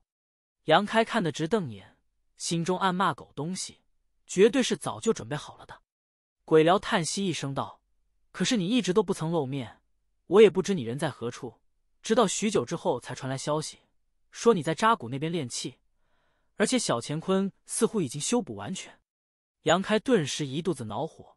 本来想在黑渊面前给鬼辽上点眼药，谁知这家伙心思竟是这般缜密，搞得他有些难以为继了。闷了闷，杨开只能道：“若真如此，那可能是我误会鬼辽大人了，在这里给大人赔个不是。严重了，你是狱主大人的墨徒，狱主大人的吩咐，属下又岂敢不尽心尽力？”鬼辽一副忠心耿耿狗腿子的模样，黑渊显然也懒得在此事上多做纠缠，摆手道：“既是误会，那就没什么好说的。你如今小乾坤也完整了，日后修行不会受到什么困扰。”望着杨开，话锋一转：“你精通炼气？”杨开恭敬回道：“略懂，不敢说精通。”黑渊微微颔首，冲鬼辽伸出一手，鬼辽会意。连忙从空间界取出一杆长矛，往下走了两步，递给杨开：“这秘宝是你炼制的？”黑渊问道。杨开接过那长矛，略一打量，立刻便认出这东西出自自己之手。而且，如果没记错的话，这是随着扎古去封地后炼制的第一件秘宝。他这些年来炼制的秘宝数量虽然不算少，但也绝对不多，每一件都记得清清楚楚。这长矛赫然是当时两件秘宝中的一件。还有另外一件是半身宝甲。回忆了一下当时客人提出来的要求和宝甲的大小规格，杨开立刻明白，当时他炼制的宝甲和长矛，赫然是为鬼辽炼制的。如此看来，鬼辽与扎古应该在那个时候就有所联系了。扎古之所以能得到一块封地，或许跟鬼辽也脱不开关系。没再继续想下去，杨开颔首道：“这确实是我炼制的。”黑渊精神一振。炼制此物用了多长时间？杨开道：“两个月不到吧。”黑渊眼睛微微发亮，两个月不到便炼制了这样的秘宝，看样子你的炼气造诣确实不低。主人谬赞，我的炼气造诣顶多只是大师水准，也就只能炼制这样档次的秘宝了。能炼制出这样档次的已经很了不起了。你想必也清楚，墨族因为自身力量的缘故，不通炼气。想要拥有合适自己的秘宝是很困难的，所以人族炼气师在墨族这边可是宝贝。鬼辽也在一旁微笑颔首。大人说的是，尤其是像杨开这样的大师级炼气师，更是屈指可数。若能有足够的时间成长，必能炼制出更好的秘宝。黑渊一脸期待的望着杨开，你觉得如果让你专心炼气的话，你的炼气水准能有多大提升？专心炼气。杨开表现的有些茫然。主人明鉴，炼气之道不过是属下的小小爱好，属下还是希望能专心武道，如此日后也能在战场上为主人分忧解难。黑渊欣慰颔首：“你有心了。不过，如果我执意让你专心炼气之道呢？”杨开不做考虑，毫不犹豫道：“既是主人之命，属下自当遵从。”只不过，只不过什么？黑渊问道。只不过属下在炼器之道上的天赋不是很高，就算再怎么努力，日后顶多也就是一个宗师水准，到不了那大宗师级别。能达宗师水准？黑渊眼前一亮，不禁笑了起来。好，很好。杨开迟疑道：“主人可是需要我炼制什么秘宝？若是需要的话，还请示下，属下定竭尽所能，不让主人失望。是需要你炼制秘宝，不过……”黑渊言犹未尽，顿了顿道：“你先下去休息吧，过几日随我出一趟远门。”杨开一头雾水的模样，不过还是恭敬行礼，退下。待他走后，鬼辽才问道：“大人这是要将他带去王城？”黑渊颇有些兴奋的颔首：“不错，王主那边早就下令，日后但凡发现领地上有炼器师的，一律送到王城那边。当年我也与你说过缘由，你应该清楚。”属下明白。鬼辽恭敬应道：“大人，王主那边的大计进展如何？”说起这事，黑渊不免忧愁，不是很顺利。虽有一些试验品，却都不堪一击，远不如人族战舰的种种性能，所以那边才急需炼器造诣高的炼器师。杨开如今是大师级，未来可成长为宗师级，或许无法主持那项大计，但参与一些重要的环节却是没问题的。这样的人也是王主急需的。说完，黑渊又叹息一声：“可惜了，他一身战力着实不俗。当年之所以亲自出手墨画，也是看中了杨开本身展现出来的强大实力。不过与杨开的战力比较起来，王主的大计无疑才是最紧要的。黑渊也只能忍痛割爱。黑渊让杨开等待几日，随他出一趟远门。杨开虽表面佯装迷茫，心中又岂不知自己的计划又往前推进了一步。”所谓出一趟远门，绝对是要去见王主，这让他不禁期待又忐忑。期待的是迄今为止一切进展顺利，如果后面不出什么意外的话，他很快就能搞明白为墨族炼制秘宝的人族炼器师到底是何方神圣，又身在何处。忐忑的是，王主毕竟不是好相与的，这可是堪比九品老祖的强者，在这样的存在面前，杨开也不敢说自己没有暴露的风险。而孤身处于墨族王城，一旦暴露，后果可不是他能够承受的。他没有留在古堡中等待，反而离开古堡入了城。这些年与扎古合作炼器，虽说主要目的是打响自己炼器的名声，引起黑渊的注意，但这些年下来，他也积攒了不少墨币。每炼制一件秘宝，都是七千墨币的酬劳。这七八年间，他炼制的秘宝也差不多有五十件了，手中墨币也有三十多万。墨币这东西购买力不俗，三十万墨币换算成开天丹，那可是足足三十亿。不过墨币对杨开没用，却可以用来购买修行物资。这还是他头一次身怀巨款，在墨族的城池中买东西，多少有些新奇的感觉。城中有不少墨徒，但都跟随在自己主人墨族身边。如他这样形单影只的独此一份，自然吸引了不少墨族好奇的目光。不过察觉到他七品开天的修为，墨族们虽然好奇，却也不敢造次。能墨化七品开天的，最起码也是领主级别。而且听说玉主大人也收了一个七品开天墨徒，搞不好就是此人。谁又敢打玉主大人墨徒的主意？墨族这边的店铺数量不少，查探了没几家店铺，杨开便发现墨族这边的修行资源数量庞大。想想也不奇怪，整个墨之战场广袤无边。墨族占据了巨大的地盘，那些地盘上有数之不尽的乾坤世界可供开采，修行资源自然是不缺的。不像人族这边，只有打退了墨族的大军，才能争抢一些资源产区，勉强开采一些年月。待墨族恢复了元气后，那辛苦抢来的资源产区又得放弃，如此周而复始。不过对墨族来说，这些修行资源并不能直接用来修行。而是需要投入到墨巢中，演化成墨之力，才能为墨族所用。人族强者趋之若鹜的资源，对墨族没有直接的用途。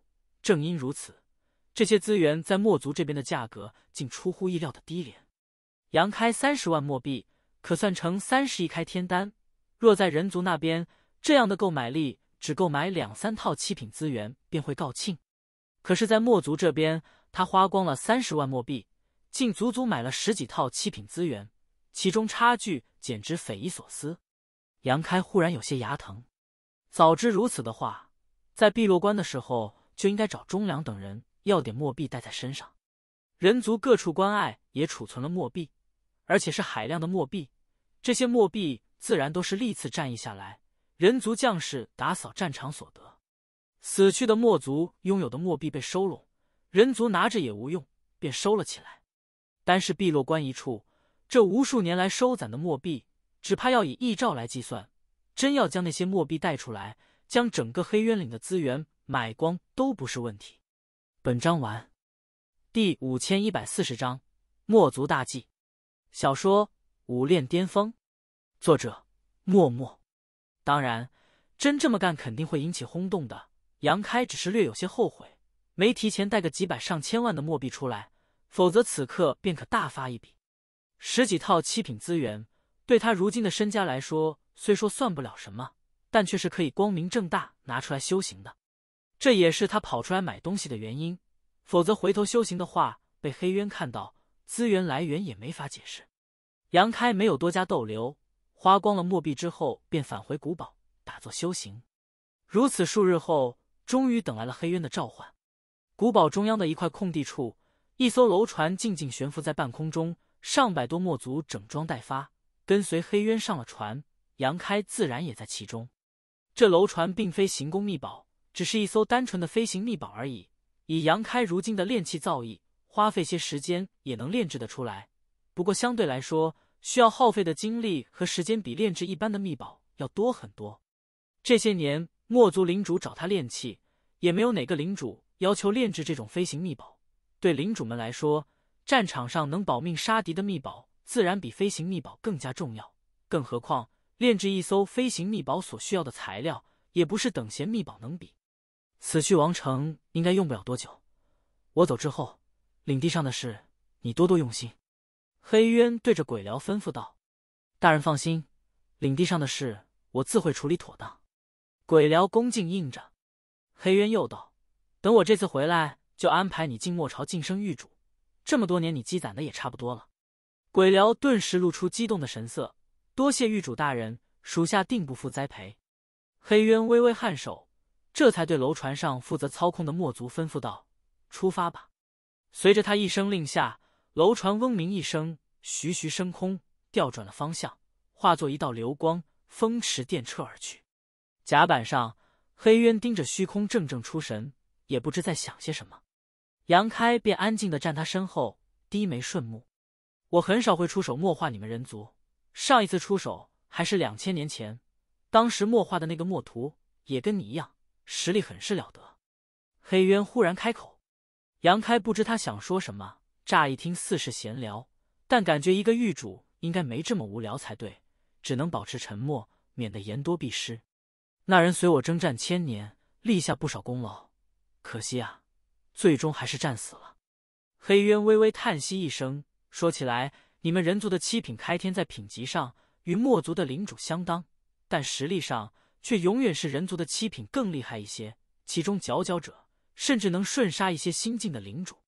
杨开道：“人族修行重在积累，纵同是七品，或许也差距数千年的苦修，实力自然也有巨大差别。”黑渊道：“人族修行有积累，我墨族同样也有积累，只不过总体来说，墨族的成长期比你们人族要短一些，而且所有晋升都借助了墨朝，这或许便是。”墨族个体实力不如人族的根本缘由。杨开怔了怔，这我倒是没想过。黑渊头也不回，只是笑道：“人族的晋升依靠自身，我墨族却依靠外力，自然是不同的。不过在数量上，人族与墨族却是无法相提并论。我墨族有无穷无尽的大军，人族每一处关隘的武者都数量有限。可即便如此，这无数年争斗下来，人族关隘也鲜少有被攻克的先例。”有时候，我也不得不佩服你们人族的毅力和决心。杨开敏锐的关注到黑渊话语中透露出来的一点信息：人族关隘鲜少有被攻克。大人，人族关隘曾被攻克过。黑渊扭头望他，奇道：“你不知道？真被攻克过？”杨开心头一沉，表面神色如常，摇头道：“没听说过。其实我来到这片战场时间并不长。”黑渊微微颔首，那是很久之前的事情了，而且这对人族来说也不是什么好事，自然不会大肆宣扬。或许早已被掩埋了。哪一处人族关隘被攻克过？杨开虽知身为一个墨徒不应该问这么多问题，但实在按耐不住心中的好奇。时间太久，有些记不清了。让我想想，好像是叫什么大眼关，应该是大眼关没错了。大眼关，大眼福地。杨开心头一震，人族各处关隘的名字基本上都来源洞天福地的称谓。若说大眼关的话，杨开只能想到大眼福地，也就是麻烦大师出身的福地。那能够利用低品阶资源衍生高品阶资源的造化神炉，便是大眼福地的宝贝。当初各大洞天福地为了争抢造化神炉的使用权限，还与杨开讨价还价了许久。大眼福地早就在七十二福地中除名了，麻烦大师也只是大眼福地的移民而已。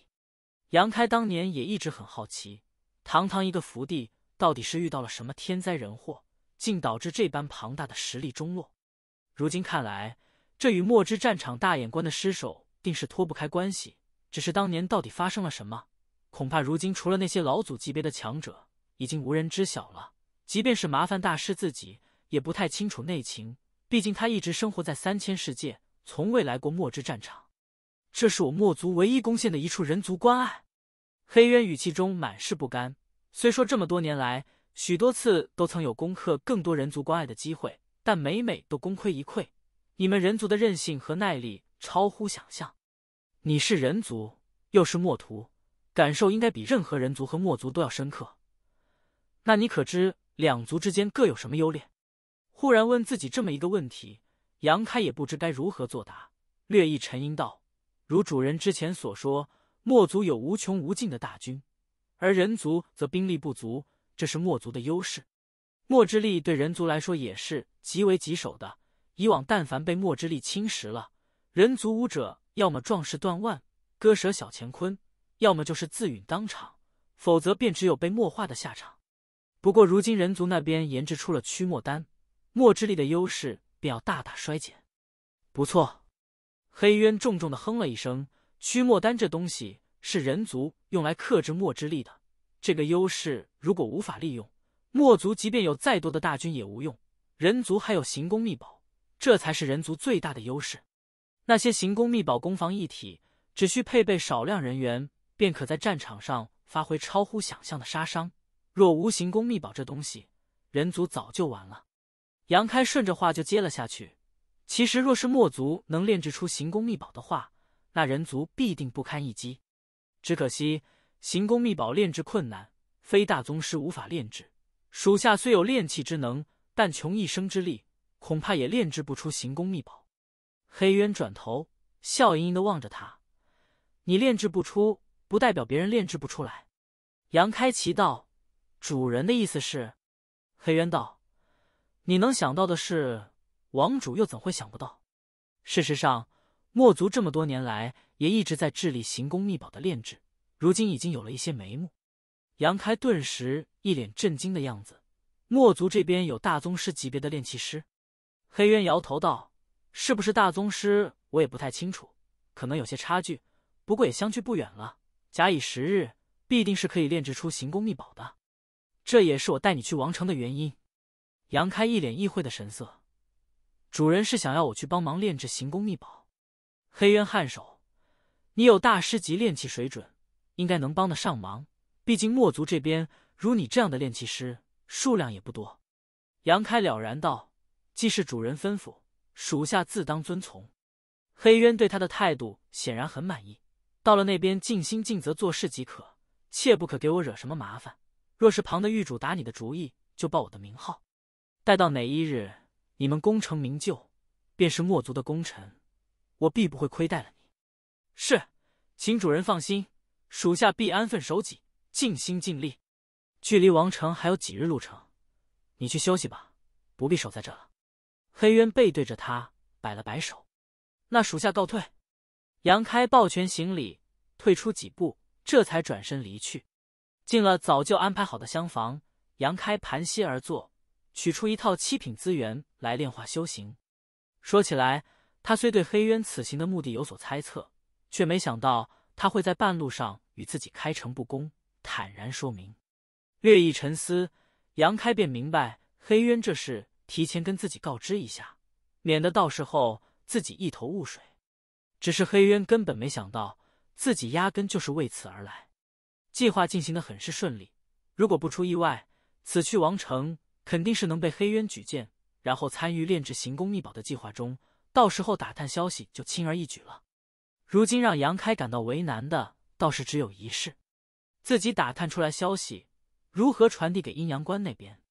倒不是阴阳关那边对此有所疏忽，只是他可以伪装墨图潜伏进来，其他人就不行了。这个消息传递始终是个难题，阴阳关那边也解决不了。出发之前只说让自己想办法传消息出来。杨开思来想去。也想不出什么好主意，顿时有些头大。本章完。